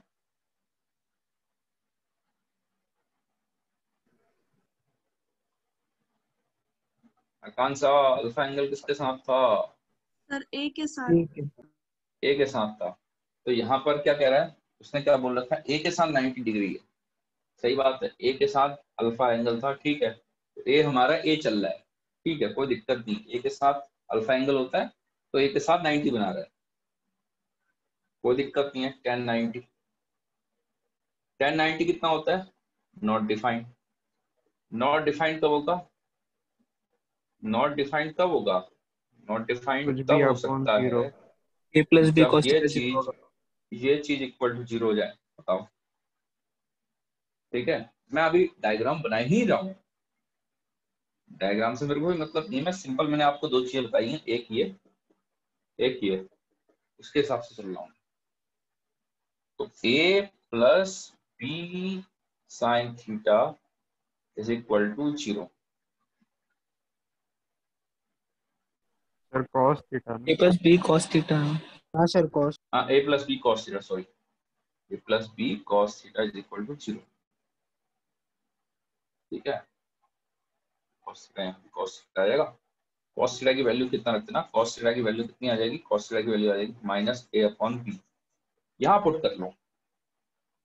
इसको इधर लेके आओ तो minus three B square upon four is equal to A square plus two A B cos theta को कितना लिखोगे? माइनस का ए अपॉन बी से बी गया। और ये धोखा हो गया। हमसे क्या पूछा हुआ है? एंगल ना?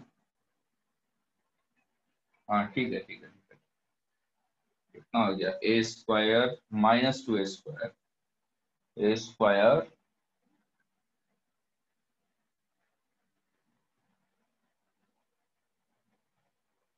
कितना हो गया? माइनस ए स्क्वायर आ गया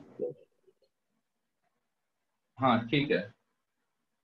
कटेगा तो कितना आ जाएगा? बी स्क्वायर की वैल्यू बी स्क्वायर की वैल्यू फोर ए स्क्वायर आ जाएगी। फोर ए स्क्वायर आ गई। यानी बी की वैल्यू तो टू ए हो जाएगी बताओ। यहाँ तक कोई दिक्कत किसी को? बी की वैल्यू टू ए आ गई। बी की वैल्यू टू ए निकल के आ गई। अच्छा।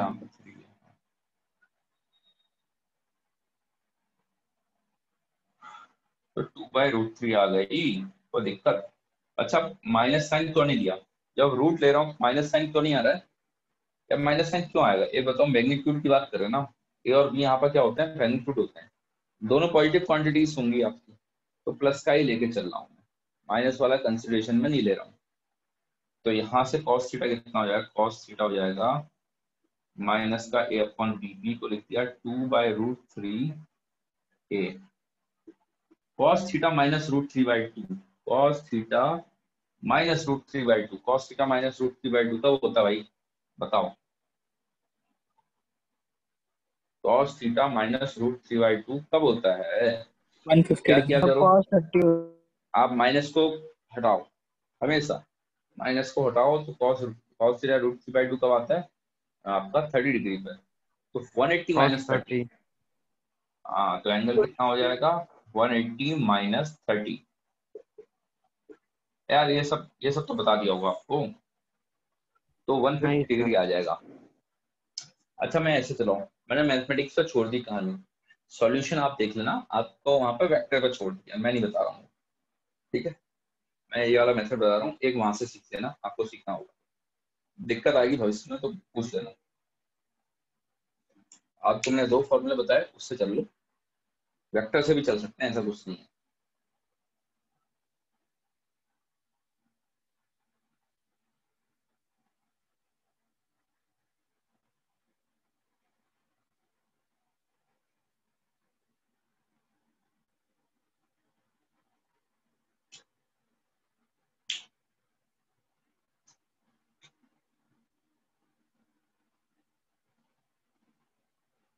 वेक्टर से चलना है किसी को? देखो, वेक्टर से बता देता हूँ। अगर चलना है तो आपको। सर, इसका डायग्राम इतना अजीब क्यों है? यार, ये तो मैंने खाली अपने क्वेश्चन के लिए। इसका कोई डायग्राम नहीं है। ये तो मैंने क्वेश्चन के लिए किया, ये इसके साथ है ऐसा ऐसा। ये इसका डायग्राम नहीं है। इसका क्या होगा? ये ए वेक्टर है, बताओ। ठीक है? इसके साथ बी वेक्टर बनाऊँगा। रिजल्टेंट मेरा क्या होगा? रिजल्टेंट ए वेक्टर के परपेंडिकुलर आता है। कभी आपने देखा था क्या? ट्रायंगल याद है? ए वेक्टर बी वेक्टर तो ये सी वेक्टर बनता था याद है? हाँ मतलब ये A A vector plus B vector बनता था। इस बार कंडीशन क्या हो गई? रिजल्टेंट ए के परपेंडिकुलर है। सेम चीज़ को क्या करूँगा मैं? ए वेक्टर रिजल्टेंट ऐसे आ रहा है बताओ। कि A vector plus B vector ऐसे आ रहा है। ऑब्वियस सी बात है ना बी वेक्टर ऐसा हुआ होगा। और अगर बी वेक्टर ऐसा हुआ तो एंगल तो भाई आपको ऑब्ट्यूज दिख रहा है कि नहीं दिख रहा? एंगल नब्बे से ऊपर जाएगा। बताओ। समझ में आया? विदाउट. डायग्राम चलना चाहते हो तो ये प्रोसीजर है। डायग्राम से चलना चाहते हो तो ये है। ध्यान से देखो A vector plus B vector is equal to ये ए प्लस बी वेक्टर कैसे बनाया था? ट्राइंगलों में वैसा ही देख लो, इस बार रिजल्टेंट ए के परपेंडिकुलर है मतलब ऐसे आएगा। और ऐसे आएगा, अब इसमें ये पता है आपको, ये लेंथ होती है लेंथ होती है मैग्नीट्यूड होता है। तो क्यों ना मैं इसको अगर लेंथ के हिसाब से ही लिखना है, ये बी हो जाएगा, ये ए हो जाएगा तो क्यों ना ये बी बाई टू हो जाएगा, ये बी बाई टू हो जाएगा, और अगर ये बी बाई टू हो जाएगा, थोड़ी देर के मैं इस एंगल को फाइव बोल देता हूँ थोड़ी देर के लिए इस एंगल को फाइव बोल देता हूँ। तो this upon this this upon this क्या होता है? Perpendicular sine five sine five की वैल्यू हो जाएगी B by two upon B यानी हाफ़ यानी फाइव की वैल्यू तो आ गई है थर्टी डिग्री बताओ। फाइव की वैल्यू आ गई है थर्टी डिग्री अरे दिख रहा है कि नहीं दिख रहा? गैप तो नहीं हो गई? सर दिख रहा है। दिख रहा है ना? अगर डायग्राम से चलना चाहूँगा तो ये डायग्राम है ये रिजल्टेंट उसका बोला बी बाई टू है ये बी है ये ए है। साइन फाइव लगाऊँगा तो परपेंडिकुलर अपॉन हाइपोटेन्यूज हाफ़ आया तो फाइव थर्टी आ गया। यानी ये थर्टी आ गया है तो मतलब एंगल कैसे होता है? ये बी वाला है ये ए वाला है ये बी वाला है। ए और बी के बीच का एंगल कितना हो जाएगा? 150 हो जाएगा कितनी हो जाएगा? ए और बी के बीच का एंगल वन ठीक है ना? चलो आगे बढ़ते हैं। आगे समझ में दोनों तरीके बता दिए मैंने आपको। चलो आगे बढ़ते हैं। रिजोल्यूशन ऑफ़ वेक्टर्स हेडिंग डाल लो resolution of vectors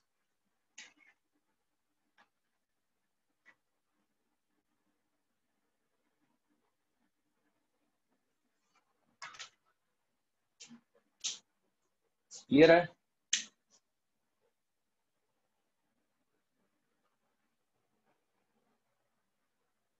thirty second दे रहा हूँ तीस सेकंड है आपका फटाफट लिखो हाँ लिख दिया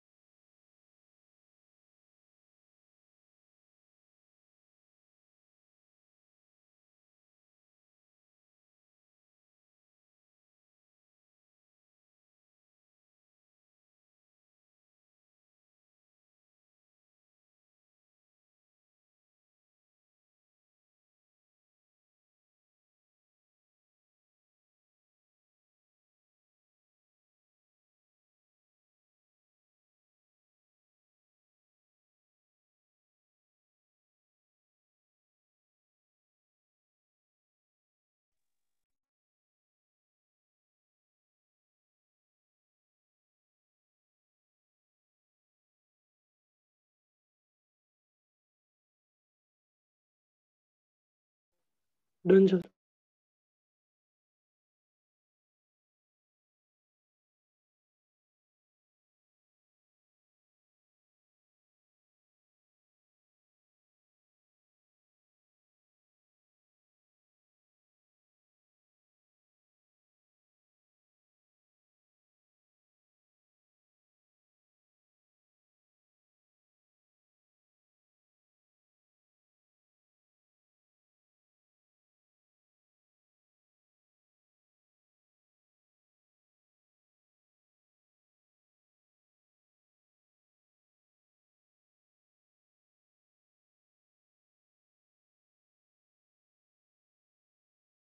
आगे बढ़ते हैं। इसको उठाते हैं। ठीक है? मेरे ख्याल से कोई दिक्कत नहीं होनी चाहिए इसमें। आगे बढ़ते हैं। अरे सर्विस ओ सर्विस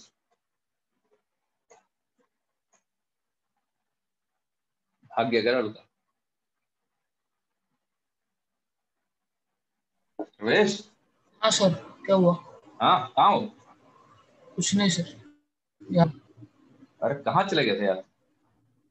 कुछ नहीं पानी पीने गया था। चलो देखो अगला आ गया रिजोल्यूशन हेडिंग डालो चलो resolution of vectors resolution of vectors तुमने भी कभी रिजोल्यूशन लिया हुआ इलेवंथ फॉर्म हो तो खूब पढ़ूँगा टेंथ में तो मेटागस्ती कर ली। है? ऐसा कुछ नहीं है। यहाँ पर अपना रिजोल्यूशन क्या है? रिजोल्व करने का मतलब क्या होता है यार?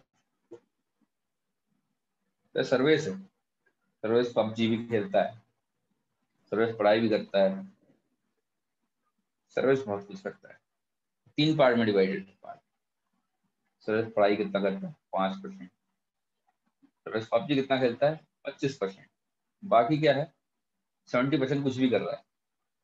तो रिजोल्व करने का क्या उसको अलग अलग पार्ट्स में डिवाइड करना। ठीक है? अलग अलग डायमेंशन में उतारना। मतलब पढ़ने का पबजी से रिलेशन नहीं है, और किसी और से तो कुछ रिलेशन नहीं है। तो रिजोल्व करने का, किसी भी क्वांटिटी को आप रिजोल्व कर रहे हो मतलब उसको, अगर दो चीज़ में रिजोल्व कर रहा हूँ, उसको दो पार्ट में डिवाइड कर देना।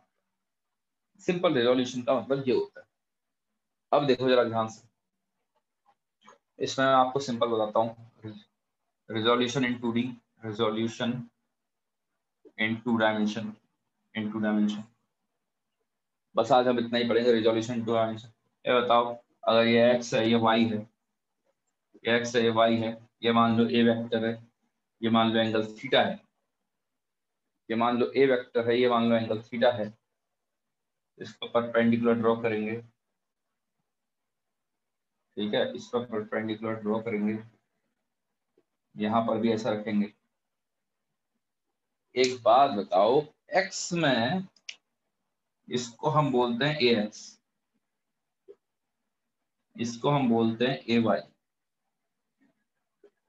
कि भाई ए का कितना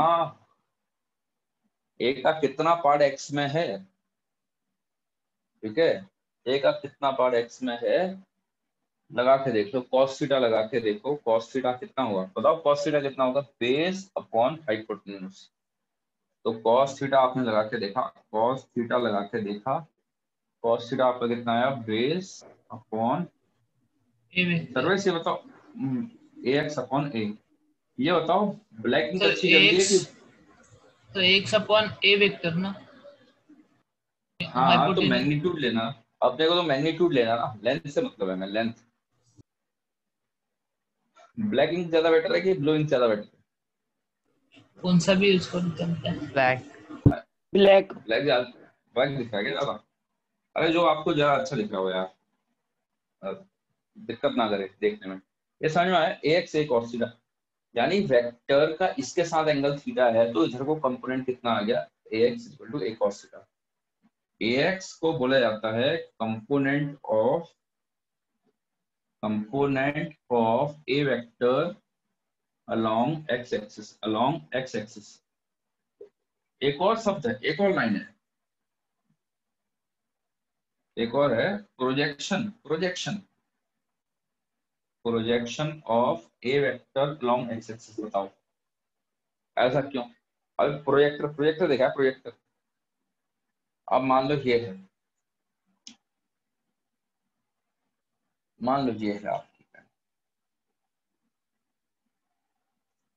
अभी सामने से लाइट मारूँगा तो यहाँ पर प्रोजेक्शन कितना आएगा? कुछ आएगा? इसका ऐसा कर कुछ प्रोजेक्ट आएगा। अब मान लो ऐसा है प्रोजेक्ट मारूँगा तो इतनी लाइन आएगी। अच्छा मान लो ऐसा है। ऐसा है ऐसा दिख रहा है। तो अगर सामने से लाइट मारूँगा तो डॉट आएगा डॉट टाइप का आएगा डॉट डॉट हाँ है ना? अब इसमें प्रोजेक्शन ऑन एक्स एक्सिस का क्या मतलब हुआ? ऊपर से लाइट मारो। ऊपर से लाइट मारो तो कितना चमकेगा? इस लाइन का सिर्फ़ इतना ही तो आएगा। बताओ। ऊपर से अगर मैं लाइट मारने लग गया, ऊपर से लाइट मारने लग गया तो कितना इसका यहाँ पर चमकेगा? इतना ही तो चमकेगा कि नहीं चमकेगा? ज़्यादा दिखेगा। आपने ऊपर से लाइट मारना चालू किया। ठीक है? आपने यहाँ से लाइट मारना चालू किया। ऐसे ऐसे लाइट मार। लो सर उतना ही कितना दिखेगा चमकेगा इसका? इतना ही तो आएगा। एक्स एक्स आएगा कि नहीं आएगा? तो एक्स को एक और शब्द बोला जाएगा projection of A vector along X X clear है इसमें? कोई दिक्कत? यस ठीक है। मेरे ख्याल से जितना आप बताऊँ खा रहे हो मेरे को समझ में आ गया कि आप ए वाई समझ जाओगे। बताओ। किसी को कोई दिक्कत? ए वाई की कहानी? नो सर ए वाई में किसी को कोई दिक्कत? फटाफट लिखो, दोनों लाइन लिखो। Component of A vector along Y axis A vector का कंपोनेंट वाई एक्सिस में कितना आ रहा है? या फिर projection of A vector along Y axis इधर से लाइट मारूँगा इस बार। इधर से लाइट मारूँगा तो वाई एक्सिस में इतना ही चमकेगा। ठीक है? देख लो उसको फटाफट लिखो।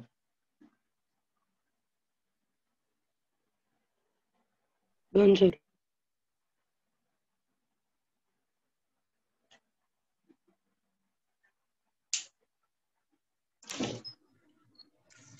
दो मिनट से रफ मत करना।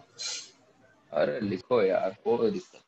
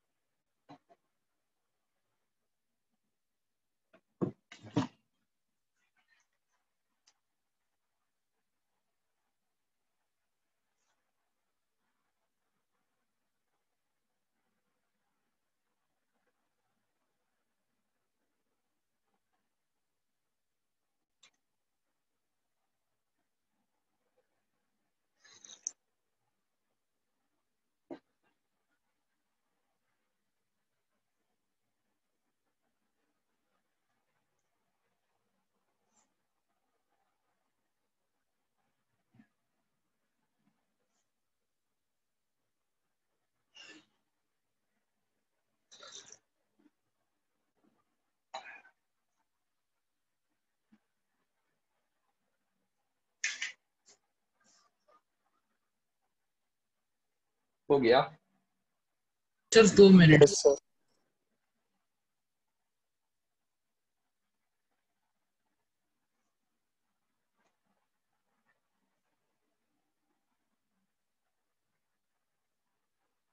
हाँ भाई जुबिया समझ में आ रहा है कि नहीं आ रहा? लाइटनिंग थंडर एंड पनवेल तो क्या करें बिजली एक्सट्रैक्ट कर लें क्या वहाँ से? है भाई केतन सर लाइट गई है। लाइटनिंग अच्छा ये बताओ बिजली पहले क्यों आती? आवाज़ से पहले हाँ। हम हम से sir light Light faster lag. than sound. faster light is हाँ ये बहुत आने दो। के क्यू में क्वेश्चन आएगा ना ये भाई फिर अभी आ गया फॉर्म आ गया होगा उसका। फॉर्म आ गया है शायद हाँ आ गया। सर प्रोजेक्शन ऑफ़ क्या लिखा है उसके आगे? Projection of A vector on X axis हाँ। Projection of A vector on X axis अबे अंग्रेज़ी थोड़ा जानो बे मुंबई में पढ़ते हो मतलब। कमाल करते हो यार। Sir A vector on axis ना? हाँ ऑन एक्सिस अलोंग तो नहीं आएगा ऑन आएगा मतलब अंग्रेज़ी की टीचर नाटेगी ठीक है? पढ़ो लाइटनिंग थंडर वंडर अभी आएँगे उसमें के में क्वेश्चन आएँगे। मिल जाओगे। फॉर्म भर लेना मतलब बेइज्जती कराने के लिए। सौ मार्क्स इसका सर?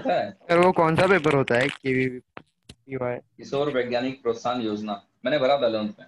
ट्वेल्थ में भरा कुछ नहीं हुआ दोनों बार। अब उतना या तो मेहनत उतनी मेहनत होनी चाहिए ना यार। तो सर वो alone तो प्योर हो नहीं पाता। साइंस हैं। सर वो प्योर साइंस वाली है ना। अरे यार उसके बारे में आज डिस्कस नहीं करना मैं अपना टॉपिक कंप्लीट कर लेता हूँ। ठीक है? करेंगे अगली बार और में डिस्कस करेंगे। अगले लेक्चर में डिस्कस करेंगे। ठीक है? समय अपने पास बहुत है। चलो आगे बढ़ते हैं। चलो देखो अब इसके आगे एक नई चीज़ लिखवाने जा रहा हूँ आपको। देखो, कोई भी वेक्टर को उसके कंपोनेंट में रिप्रेजेंट किया जा सकता है। कोई भी वेक्टर को उसके कंपोनेंट में रिप्रेजेंट किया जा सकता है S A X I cap plus A Y J cap इसको याद रखना। कोई भी वेक्टर को उसके कंपोनेंट में लिखा जा सकता है इस तरीके से। A cos theta i cap plus A sine theta j cap.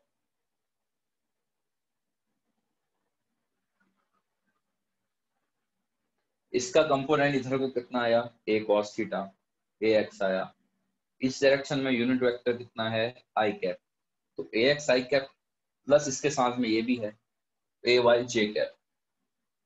वो कहा था, किसी वेक्टर को मैग्नीट्यूड इंटू यूनिट वेक्टर तो इधर का मैग्नीट्यूड इंटू इधर का यूनिट वेक्टर आई कैप इधर का मैग्नीट्यूड इंटू इधर का यूनिट वेक्टर जे कैप ठीक है? अच्छा उल्टा। एक बात बताओ, यहाँ से टेन थीटा कैसे निकालोगे? कभी कभी क्वेश्चन ये आता है थीटा बताओ तो टेन थीटा कितना हो जाएगा? A y upon A x A y upon A x कभी कभी पूछेगा मैग्नीट्यूड बता दो। मैग्नीट्यूड कितना हो जाएगा? Under root of A x का स्क्वायर प्लस ए वाई का स्क्वायर कैसे? पाइथागोरस। पाइथागोरस से। सर ये नहीं समझा। Tan theta this upon this होगा। A y upon A x yes sir चलो ऐसे समझ लो। ए एक्स कितना है?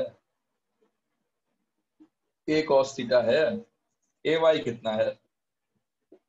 ए साइन थीटा है दिस अपॉन दिस करो दिस अपॉन दिस करोगे टेन थीटा बचेगा। देखो ए से कट जाएगा है ना? सर वो तो दोनों में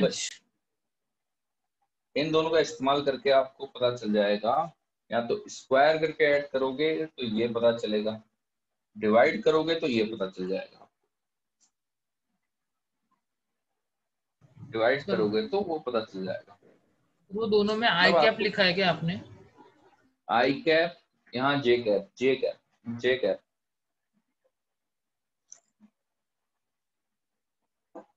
y component में यूनिट वेक्टर कौन सा होता है? छे कैप होता है कि नहीं होता?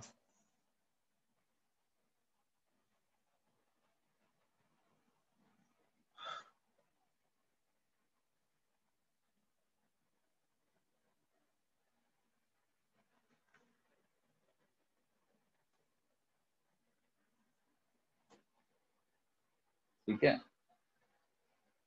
मिटा तो दिया, लेकिन मैं पूछ लेता हूँ। क्या था ये? हो गया था सबका? हाँ sir.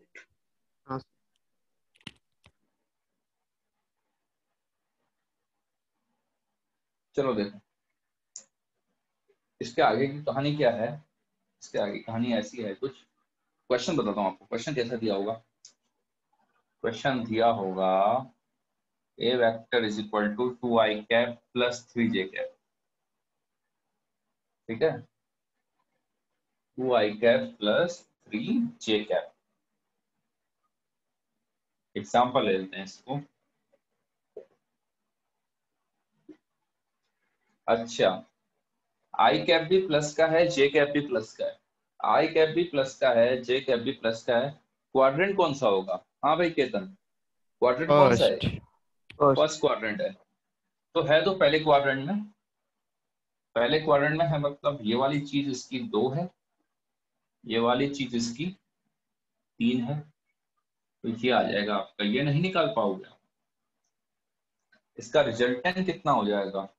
Under root of two का स्क्वायर प्लस थ्री का स्क्वायर आ गया? रूट थर्टीन कोई दिक्कत यहाँ तक? आपसे कहेगा find the magnitude magnitude of A magnitude of A इतना निकल के आ गया बताओ। कोई दिक्कत किसी को? सर वो आपको कैसे पता चला कि वो फ़र्स्ट क्वाड्रेंट में है? आई कैप प्लस का है जे कैप प्लस का है। अच्छा एक्स कोऑर्डिनेट भी प्लस का वाई कोऑर्डिनेट भी प्लस का कौन सा कोऑर्डिनेट आएगा? फ़र्स्ट क्वाड्रेंट ठीक है।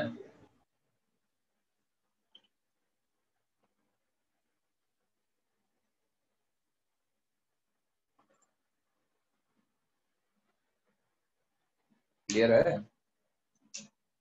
यस सर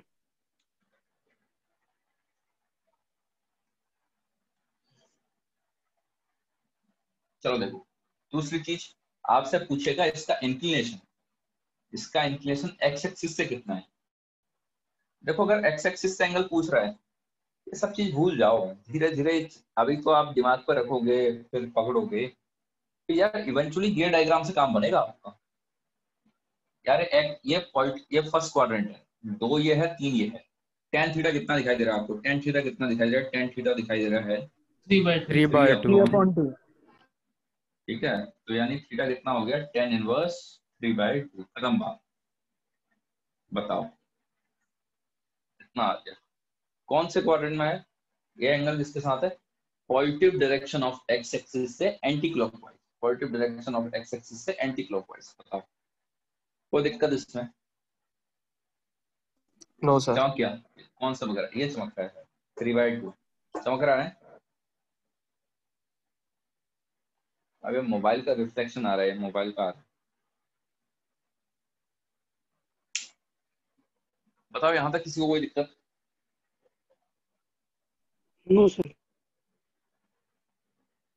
ठीक है। अब आपसे क्वेश्चन पूछेगा।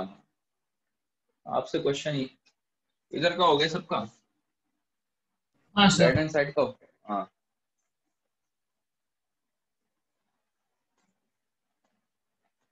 हाँ। जूबिया समझ में आ रहा है? यस सर ठीक है। अब मान लो आपसे सेम टाइप का क्वेश्चन है। एग्जांपल लेते हैं कोई डिफरेंट लेते हैं। एग्जांपल दे दिया आपको। Minus two i cap plus two i cap minus four j cap बताओ। अब ये कौन सा क्वाड्रेंट आ गया? Two i cap minus four j cap. Fourth ऐसे। कौन सा क्वाड्रेंट है? समझ में आया कौन सा क्वाड्रेंट है? फोर्थ हाँ एक्स प्लस का है आई कैप प्लस में है जे कैप माइनस में है। ये फोर्थ क्वाड्रेंट की बात हो रही है। तो इसको हम क्या करेंगे? सीधा फोर्थ क्वाड्रेंट में बनाएँगे। फोर्थ क्वाड्रेंट में आई कितना आ रहा है? ये चीज़ है आपकी दो, ये दो है, ये चीज़ है चार, ये चीज़ है चार। अब माइनस चार मत बनाना क्यों? क्योंकि ये माइनस साइन किसके साथ है?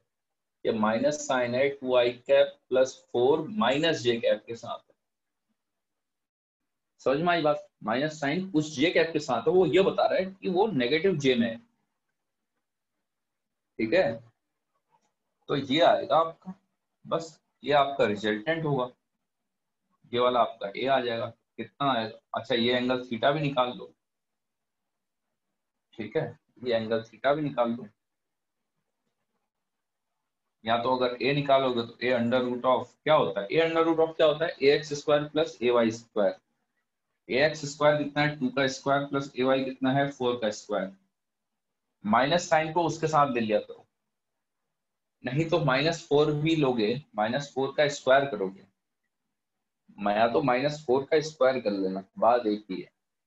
मैटर नहीं करेगा, नहीं तो generally A x four A x two है ए वाई फोर है। एक्चुअल में तो ये है कहानी। क्योंकि वो माइनस साइन हमेशा उसके साथ जाता है, वो क्वाड्रेंट बताएगा आपको। तो रूट कितना आ गया? टू रूट फाइव आ गया एंगल एंगल कितना आ गया टेन थीटा लगाओ टेन थीटा लगाओगे टेन थीटा की वैल्यू आ गई है फोर अपॉन टू थीटा कितना आ गया? टेन वर्स टू लेकिन ये थीटा कौन से क्वाड्रेंट में है? ये फोर्थ क्वाड्रेंट में है। Positive direction of axis x axis से anti clockwise direction sorry clockwise clockwise direction में आ गई बात समझ में? हाँ सर सर उससे क्या मालूम पड़ेगा? एंटी क्लॉकवाइज या क्लॉकवाइज यार ये फ़र्स्ट क्वाड्रेंट है ये आपसे क्वेश्चन क्या पूछेगा? ऐसे में क्वेश्चन पूछेगा मैग्नीट्यूड निकालो और एंगल बताओ। कितना बना रहा है ये? वाई एक्सिस के साथ। तो अगर वाई एक्सिस के साथ अच्छा अगर वाई एक्सिस के साथ पूछेगा तो वाई एक्सिस के साथ कितना बना रहा है? 90 प्लस थीटा 90 प्लस थीटा बना रहा है क्लॉकवाइज ठीक है? नेगेटिव वाई एक्सिस के साथ कितना बना रहा है? 90 माइनस थीटा 90 माइनस थीटा बना रहा है नेगेटिव वाई एक्सिस के यार ऑप्शंस आते हैं आप पे तो बोलेगा आपसे किसके साथ बना रहा है? आप तो कोई एक निकाल सर। हाँ। सर ये क्वेश्चन एक बार वापस समझाओ ना अच्छा कितने और को समझा? सर्विस के अलावा किसी को समझाना तो मैं समझा दूँगा। बता दो भाई। कोई तो सर्विस के साथ दो। कोई दिक्कत है तो बता दो।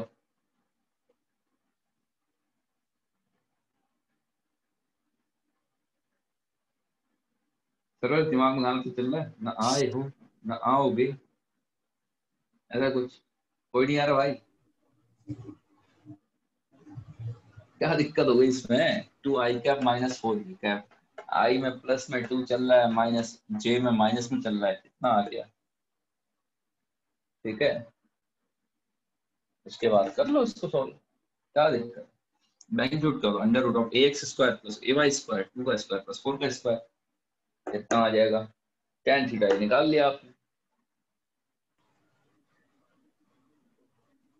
हाँ सर समझे ठीक है? कोई दिक्कत इसमें किसी को? नो सर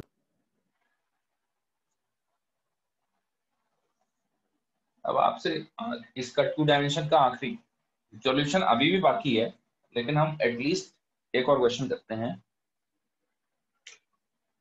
ये आखिरी क्वेश्चन है आज का।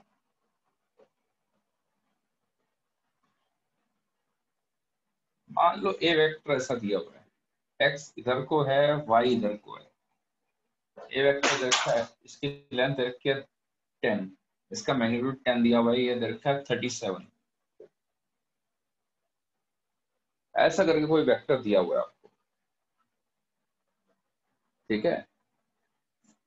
कहेगा represent the vector represent A in vector form represent the quantity in vector form question लिख लेना। क्वेश्चन है represent represent A in vector form vector form ये क्वेश्चन है आपका। कि भाई ए को वेक्टर फॉर्म में रिप्रेजेंट करो। ठीक है? अब cos थीटा मत लगाना। जब आपको A x is equal to A cos theta बोला था या तो लगा दो, चलो। थीटा इसके साथ एंगल था, याद है? आपको सबसे पहले जो बेसिक डेरिवेशन है। थीटा एंगल था पॉजिटिव एक्स एक्सिस के साथ। पॉजिटिव एक्स एक्सिस के साथ। कोई दिक्कत नहीं। कौन है करो? गोली मारो इसको। यहाँ पर एंगल इसके साथ थीटा है। तो मेरे को इतना पता है, जिसके साथ एंगल थीटा है, अगर मैं 90 डिग्री का कंस्ट्रक्शन करूँ, अगर मैं 90 डिग्री का कंस्ट्रक्शन कर दूँ यहाँ पर तो यहाँ पर 10 का cos 37 आ जाएगा, बताओ। इसका इधर 10 का cos 37 इसके सामने ये वाला 10 का sin 37 बताओ। बताया था उस टाइम पहले भी बताया था मैंने एल जहाँ पर एल लेके बात करी थी। इसमें किसी को कोई दिक्कत? नो सर हाँ श्रुति समझ में आया? हाँ सर सुरभि हम्म, यांशु? हाँ सर ठीक है। अब देखो क्या होगा। ये कहाँ है? अब हम वेक्टर को कैसे लिखेंगे? वेक्टर को हम लिख देंगे टेन का कॉस थर्टी सेवन तो है ही है, लेकिन कहाँ है ये? ये माइनस आई कैप में ये माइनस आई कैप में सर, शायद हाँ ठीक है। टेन का cos thirty seven minus i cap में बताओ।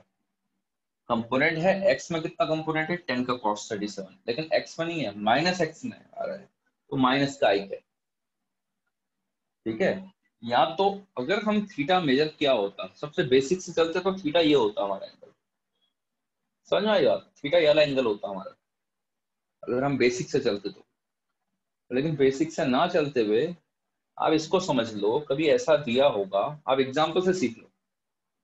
तो अगर ऐसा दे रखा है टेन का cos thirty seven i cap plus plus बीच में प्लस का साइन टेन का sine thirty seven minus j cap minus j cap क्यों समझ में आया? समझ में आया ना? वाई कोऑर्डिनेट भी नेगेटिव का है। Cos 37 कितना होता है? Cos 37 कितना होता है? Four by five four by five minus i cap plus ten का sine thirty seven three by five minus j cap कितना आ गया? Eight minus i cap plus six minus j cap अब इसको चाहे तो आप minus eight i cap minus six j cap अरे कल के दिन में कल कम से कम ये बेचती मत कराना कल आपको देखा minus three i cap plus six j cap यार इतना तो पता होना चाहिए कि भाई ये सेकंड क्वाड्रेंट है। ऐसा कोई क्वेश्चन दे रखा है? डायरेक्ट पता होना चाहिए। माइनस थ्री आई क्या plus six j cap x x negative है वाई पॉजिटिव है। सेकेंड क्वाड्रेंट है। ठीक है? इतना पता होना चाहिए कम से कम। मैग्नीट्यूड क्या हो जाएगा? अंडर रूट ऑफ़ थ्री का स्क्वायर प्लस सिक्स का square six plus nine forty five three root five आ जाएगा आपका आंसर ठीक है? यहाँ तक किसी को कोई दिक्कत बताओ तो। यहीं पर हम समाप्ति करते हैं। ठीक है आज की समाप्ति यहीं पर है। अगली वाली क्लास में बाय सर पता नहीं था आप बोल रहे हो इसलिए बोला। ठीक है इसमें अगले वाले में इसका थ्री डी में थ्री डी में। थ्री डायमेंशन में क्या होता है? थोड़ा वो पढ़ेंगे थोड़ा सा हम मल्टीप्लिकेशन ऑफ़ वेक्टर कर लेंगे। ठीक है एक और लेक्चर लगेगा। लेकिन वो अगला जो लेक्चर लगेगा ना अगले के अगला वाला उसमें मेरे को एक घंटा पढ़ाने में लगा एक घंटा डाउट में। तो याद रखना मेरे को भाई डिफरेंशिएशन इंटीग्रेशन और इसका वेक्टर का एक साथ चाहिए काम था। मैं एक साथ डिस्कस Okay, करूँगा. सब कुछ ठीक है ना? अगले लेक्चर में अगले के अगले लेक्चर में वेक्टर कंप्लीट हो जाएगा पूरा और साथ में मैं डिस्कशन भी करूँगा जिसके डाउट होंगे। तो टेस्ट में वेक्टर है। टेस्ट में वेक्टर नहीं है। टेस्ट के हिसाब से कौन? चलो एक काम करते हैं। उस दिन एक काम करना डिफरेंशिएशन इंटीग्रेशन का डाउट लेना आप। नेक्स्ट टू नेक्स्ट लेक्चर लेकिन अभी कर लो। अभी ताजी ताजी दिमाग में गया है। कोशिश कर लो चल। लो टेस्ट के हिसाब से मत चलो। टेस्ट के हिसाब से पढ़ो लेकिन यार जो अभी पढ़ाया जा रहा है उसको पढ़ लो। क्योंकि सिलेबस आगे आगे बहुत होता है। सिलेबस बहुत है। सबसे बेस्ट चीज़ होती है कि जो आज पढ़ाया गया है उसको आज ही निपटा दो। सबसे बेस्ट है।